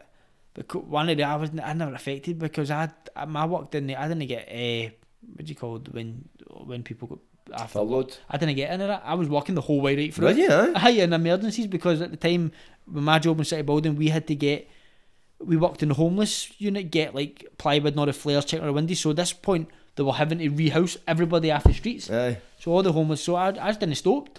I just kept Really, working, so it didn't really affect me. At Yeah. that point, we bought our own house. Mm-hmm. We got delayed six months because, because of that, because of COVID. Aye. Had everything packed away, ready to move in, then COVID hit, and we're still staying oh, in my staying in my granny's house with, in boxes Shut up, man. Living had, in a boxes. had a brand new house bought there with nobody in it. We could- didn't have the keys. Fuck it. It took six months to get the keys. No, six months because we, Aye, obviously all the paperwork and that all shit. the all the legal letters, all the different, just different stuff. Thankfully, it all kind of worked out because we all meant to move in in like the February and we ended up no much until the, the end of July. Fuck's sake, man. And that's a pain in the arse as well. Do you know what I mean? No, you're sitting living especially at a you're boxes. li- aye, living in, uh, in, under somebody else's feet and you've got your own gaff. That's the fucking other different thing. So? I was obviously stayed, stayed with my granny. So, but other than that, then that just kind of thing, and then I ended up having only had since 2019 that loss, I ended up only having three fights. I had lost one in Bolton, same kind of thing. First fight in two year, took an eight rounder just because I needed to fight. Aye. I lost that on points, and that's kind of that. By this point, I was kind of I knew that I was just kind of I was kind of fun out with it. No Really, fault, aye? but. And the coach said I love being in the gym, I love things, but myself, she just constantly at this point, you're 190 odd fights, you're just constantly making weight. I was like, I can't be arsed doing this. Mm, at that point, you just At kind of this lost point, the and then in 2000 and last year, 2022, boxed in the Hydro in uh, May, won that, and that set me up. Then I got offered the McCann fight in, on BT Sports down in the O2 in London. Mm-hmm. Too big an opportunity to to knock back. Took that. He to become as good, fresh as anything. Just styles didn't didn't suit me. Lost that, and then then I kind of knew when I came out the ring. I kind of knew for that. I was like, kind of knew. My dad says to me as well. That was was kind of the nail in the coffin. Aye, my dad was like going to the coaching. The new obviously there's no point. And So he kind of pushed you into the coaching. aye, he did as well. push you, one- but kind of. one thing about my it. dad as well, he would never just want somebody fight for the sake of fighting. Aye, Or no. just somebody entertaining for it's, Aye, get a lot of people who would who don't care about that. Aye. But my dad's obviously always puts everything first, but especially me. Obviously, I'm his fucking boy. So maybe it's a bit more respons- responsibility. Mm-hmm. But um, I kind of knew myself, and then it took me. But so that was in that was in November, and it took me till two three weeks ago to officially announce it because I, I had it wrote out for four months. Really? and I Nice. just didn't want to see it. But as a jink, it was like once I say it, that's me say that. That's, me it. fucking. And I've, I would never go see cuts come out of retirement six months later. Aye, I don't think I, I've no... I don't think I'll have that kind Nah, of thing. once he retires, he kind of retired. So, but now one thing I've always said, I've always been like a, I, I like to analyse the game Mm-hmm. and come up with game plans and just I, it was a pain in the arse that I couldn't do it myself. Mm-hmm, But I can read a fight for other people. Does that, does that make sense? Really? Aye. Aye, How's like- that? Fuck those. Is this? Were you able to do it before? You, when you were I, still even as my, when we had an amateur club, I'd always like to come up with game plans and like to come up with different um, reading fights and come up. I knew what I wanted to do, but sometimes I, I just couldn't get. I was always so nervous and stuff like that, Mm, overthinking things. Kind of But I it. love to come up with game plans, and I'm, I, I know the game inside out. I Mm. know everything.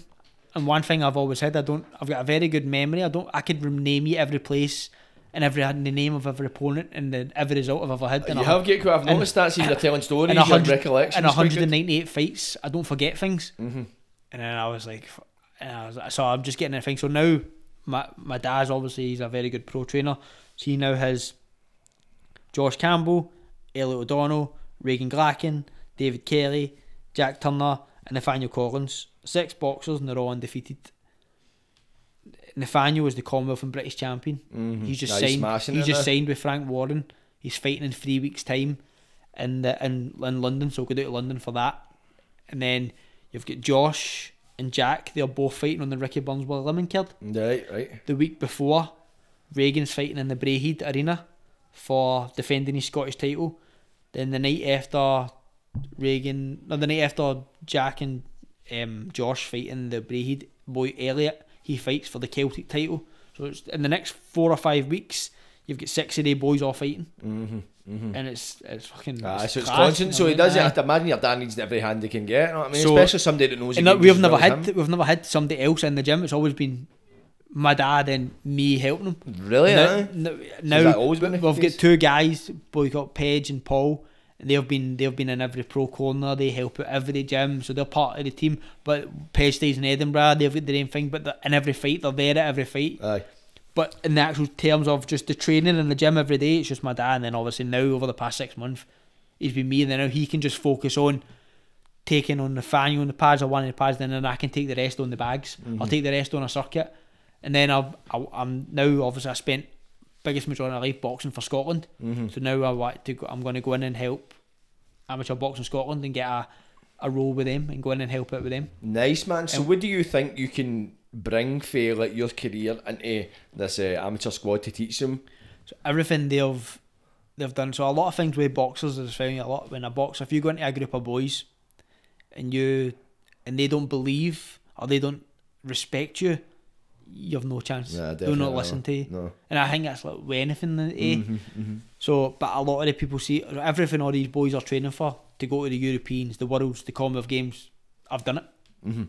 I've I've So done you every, that lived experience. I love the he's where experience. we're wanting to get to. Now it's all about me. I want to help them achieve that, but Aye. I, I can come across and I can listen to what they're doing. I can I can relate to them.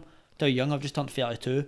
So I'm I'm young. I'm fresh. I, they can still relate to me. They if they can tell me anything they want to do, and then I can teach them the way I like to be. Because obviously I've put on four stones since since since January. and then obviously I'm thinking to myself, I'll need to go training over the next few months because you don't have a fat coach. Ah, and the way and, arse trying to and- and the way I want to train, I wouldn't like to just shout it. I would like to demonstrate it. Aye, aye, you need And to. fuck being in the middle of the ring when you've got about 10 or 12 wee guys, all Scottish champions, all skinny, six packs to fucking, they'll watch them mad fat try to throw, try throw combinations.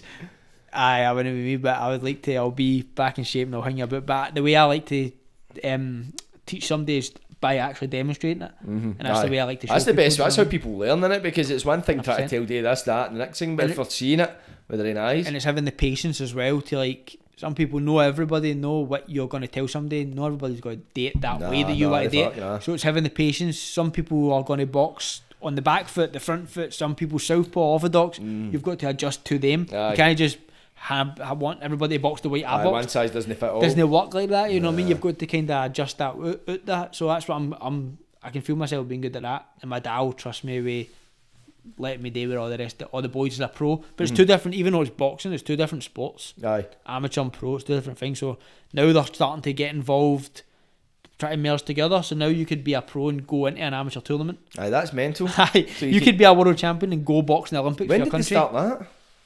The last Olympics. So it happened. I think I'm sure it first came about in 2016. Then it happened in 2020 in Tokyo. Is what people been doing it? Aye, aye, but maybe aye? no pure high level pros, but some people, Aye, some it's them no, bit. no in the case of a, a world champion doing it, but they could do- it. but they can do it. Aye, they can do it. They which is mad. So like you might see it in the line, but like so for instance, Tyson Fury could go into the Aye, the Olympics, Olympics. I Aye. suppose. But if you're getting into Olympics, usually, because if you're fighting amateurs, like Joe Joyce, he was getting stick. Aye. If I can't mind, I don't know if it was maybe fucking Tony Bellew or something saying because he was 30, year- year- uh, 30 and he was beating like 20 year olds and that. Like you're a grown fucking So- man. so see- but that's the thing, innit? That's what happens. So see, when I was in Sheffield, when I was talking about we stayed in Sheffield and we had to go down there, Aye. that was my roommate, Who? Joe Joyce. Was it? Aye. Aye. No danger. We both got so see the British Championships 2011. Aye. We both won. Right. You win that, you go into GB, and he won. He beat my mate Ross, and uh, we both got on to GB. So he was my roommate. Fucking hell, man. Small, Small, just- world, mate. he's went on to ah, do what he's went on I to know, do. he's you know what I mean? He's doing so really well, man. he's just the nicest big guy. So I remember sitting, sitting. Obviously, he's quietest big guy in the world, but back then he was even more quiet. So sitting watching the telly, and I was like, "You have to know, like, well, what are we doing?" He was like, "So he, before he became a boxer over at the gym, he was a cheerleader in America." Joe Joyce was. You ever notice why there's backflips and cartwheels in the middle of the ring when he, after he fights? How the fuck did he end up becoming a cheerleader? That's what he was. A He's the, most cheerleader in athle- America? he's the most athletic guy you've ever experienced. Is he? So see if you watch a his fucking fights, big boy. watch his fights. See at the end of his fights, he does a backflip. I've never noticed. I've never watched like, fucking to the. You to imagine he's six six six, a hundred. He's a fucking big guy. And he is he he was a cheerleader. Does this mad dance and does backflips, kicks and thing. He he was, What was he a cheerleader for? Like, like the NFL or something? Or just like just did hang football? he was a, he was a How the fuck did he end up doing that? Then he then he's he's got a de- he's got a degree in art. Has he? Very very very clever, aye, and he just became he's an absolute unit, a machine, just machine, and uh, one of the nicest guys ever. So he was he was my fucking roommate. Me, him, and a boy called Sam Maxwell at the time. But he's just he's retired as well. He just boxed on a big show in Sky. He's done really well for himself as well. But I was a roommate. But Joe Joyce was my fucking roommate. That is fucking That was in mental. 2000 between 2011 and 2012. Fuck it. I just obviously me just mentioned that and you were the I fucking just co-pilot. he, he, was, he was my he was my roommate. I don't know what's more mental, that story, the fact he's a fucking he was a cheerleader. he I could to- not believe it. to, used to eat all your food and all that. But you gotta say to him, man. you Fucking. fucking eat you. Oh, but one nicest, one nice guy, but he's a share. He's to share a room. Ah, that's He fucking my, mental, He man. was my roommate. Fuck's sake, small world, bro. Sheffield. But what was uh, the biggest challenge being a boxer for you? Make weight. Is it the making weight? Aye. Aye, That's see, what everybody says. I think when because asked them. I've always been fat inside. Mhm. I've always been a wee fat guy, and it's just incredible. Like if you ask my mates and even ask Heather, my bud, the amount of food that I can consume is scary. Aye.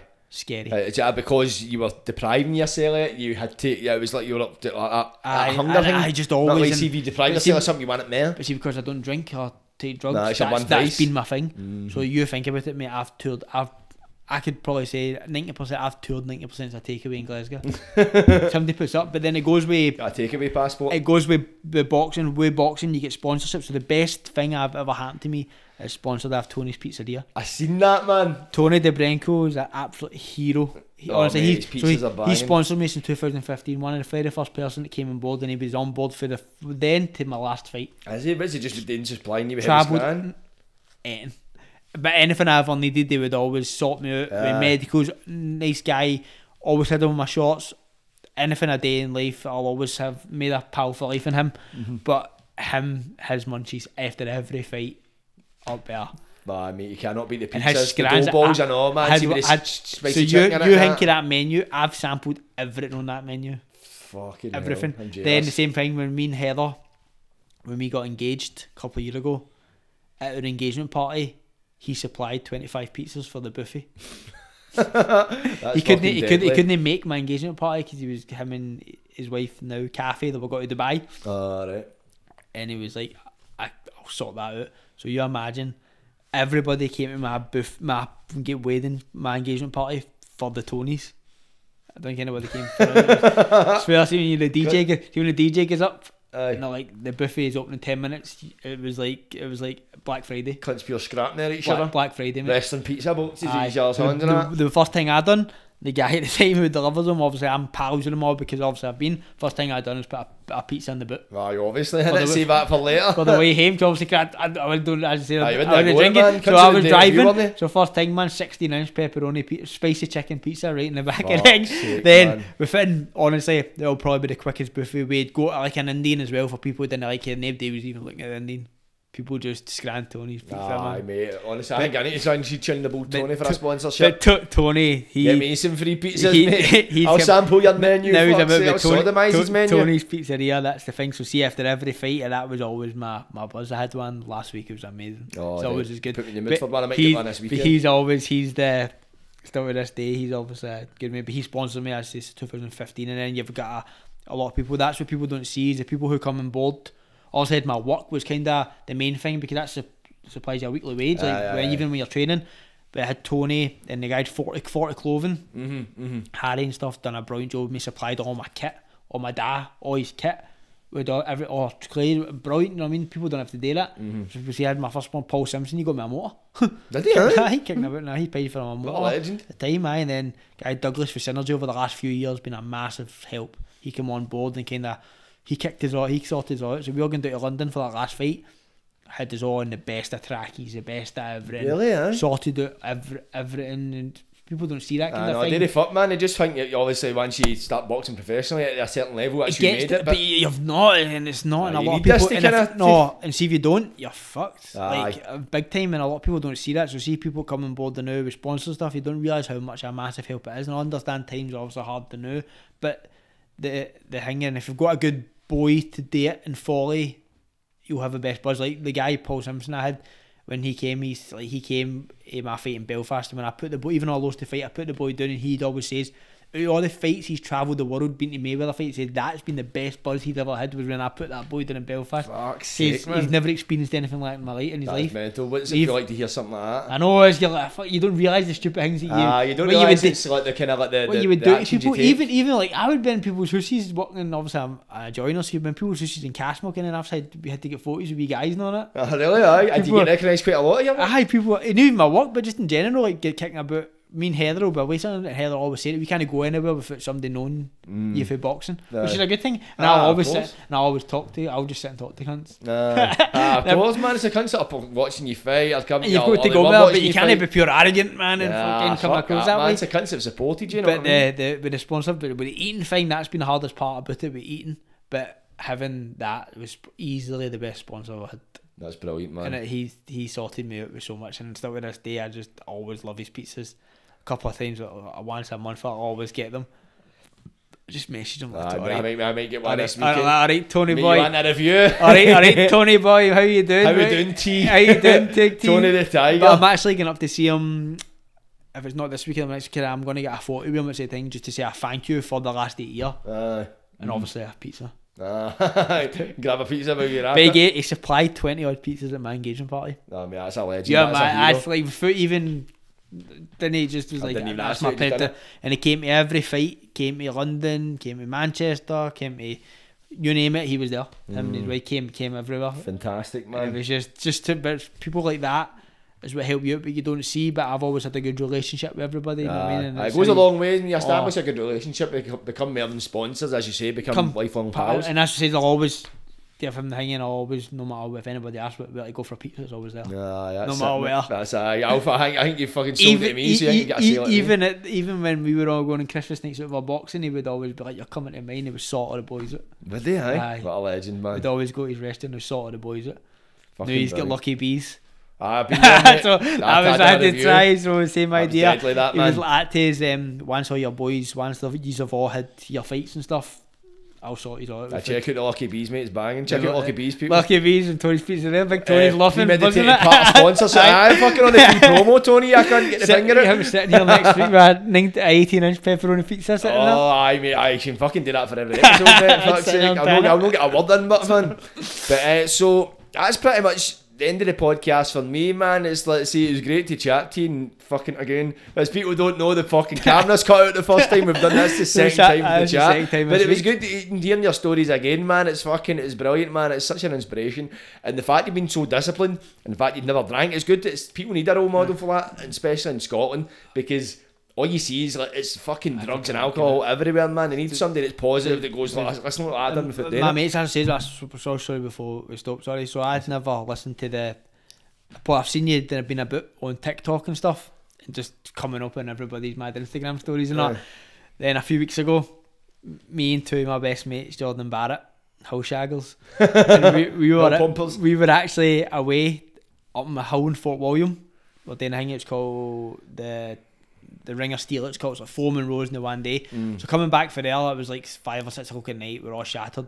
So like, what do we put on? So we're listening to Riley's gaff, and we end up listening to you on Riley's gaff. Listen to all your mad fucking stories about your life and all that stuff. And I was like, obviously I seen your boots. So I was like, I'm, I was like, I'm going to fucking follow him. I quite like that. And then the next day, you messaged to go on your podcast. Just weird how things. Turn mate, it's mental seeing you followed me. I thought because I was on Big J's I- podcast. It was after, I was like, he's obviously must follow Big J, and then uh, then when that's what It's just so random It's as mental. anything. So we'll listen to you on Riley's gaff, and then I swear they used to love just call people house shaggers, man. I swear it was the funniest thing ever. So they were pausing you in the middle of the road and shouting house shaggers to random cunts, and then, then putting you, then putting you back on. Then you're listening to your stories, but it was uh, it was good to listen to just to hear that side of because people on is is is real and that's people it, people going and lie. I don't understand what you what's the what's the difference. Try and hide behind this persona, but then man. somebody would always know you, then comment downstairs. That's Aye, you- pure lie. out. That's the, only reason I was because you pure see a lie. lot of cunts that do podcasts and that, not to name anybody, but they go on and they Oh, and they pure, they keep their, their cards close to their chest, and I'm like, that. Eventually, shit I've done is going to come out. It's going to come And out, so it it may as well come out for me first. But people would come out in today in bad press to try to try to bring you down. ruin you, Whereas but- if you come out and date yourself, you've already put it out. You so own can't it, slag you- it, and you people's need to own your truth. And if people still listening to you, they've already accepted it. Aye, So- that's exactly that. that. You need to own your truth, and that's that's it. Gives that sense of relatability, people, it man. it Because was just funny, just coming back, just coming back with the house shaggers, man, and then listening to you, listening to talking about the your time going to Pullman and all that shit, and listening and stopping it, then listening and again, then I and all your different thing, and then following you, then the next day and messaging, Nah, and then I nice. sent it to because they two, they two boys had listened to you, Mm. and obviously when I had sent the the boy my my pal Dom, he was the same. When I told him you were going, he was buzzing. He was like, "That's fucking class." But then my my pal, obviously they two, and I sent that in. He was like, "That's weird how that works out." Then listen to you on Man Riley's gaff. It was funny. ah, it's That was crazy, fucking man. funny. Check me out in Riley's. gaff. Best that was- episode they've ever that, done. that, that was that was funny. That was the first time I'd listened to you on a. I'd seen you doing your sketches and stuff, but no your story. Ah, yeah, yeah, Which yeah. you you see all the man sketch. Yo, this is fucking funny. Aye, it makes it make sense, doesn't it? it makes it make sense. aye. But I mate, fucking a pleasure having you on, mate. Such a great chat, such a great guy. I've got one last question. It's for my Patreon, Mm-hmm. Rebecca. She's asking, what do you think have been the biggest changes in the boxing landscape in the last 20 years in terms of training, promotion, etc.? Everything social media. Social media, do you think that's been the biggest change? How so? Hundred percent. And like twenty years ago, you didn't have. What did you have twenty years ago? People. nobody was Nah, it wasn't even 20 years ago, was it? No, Bebo was like 2009. so nobody's posting. Nobody was posting about that. Now you can't do anything in your life if it's something been on Instagram or Facebook. Like if you were to follow any boxer now, you get to watch for the moment they wake up to every training session. Aye. to go to the gym, to go on how they trained for the full camp. Whereas before you didn't, you seen them in the ring and then that was it. Mm-hmm, Whereas it's opened it up, even people having posters to promote fights. That's not a thing anymore. Aye, cunts can sell their own tickets. People just had the posters with the boxer's mobile number at the bottom of it. Aye. If you want somebody's tickets, you just go on their social media, message them, say, "All right, mate, can I buy two tickets?" Aye. And cunts can get can do all different kind of things to promote People it. get I mean? access, but that's the biggest thing in the change of boxing. Is obviously boxing is never going to change. It still hit the guy and don't let him. It's still two cunts punching fuck each other. Aye. hit the guy and don't let him hit you. That's never going to change. Mm-hmm. But the actual position of it, how it's getting noticed about now, it's YouTubers fighting. Obviously, you're fighting Kaz Mulligan. Fuck's sake, as if, Where you know what as I'm if talking he about? would fight me. There's, there's YouTubers, and it's it's just putting new eyes on boxing. Aye. People who never watched boxing before will watch boxing.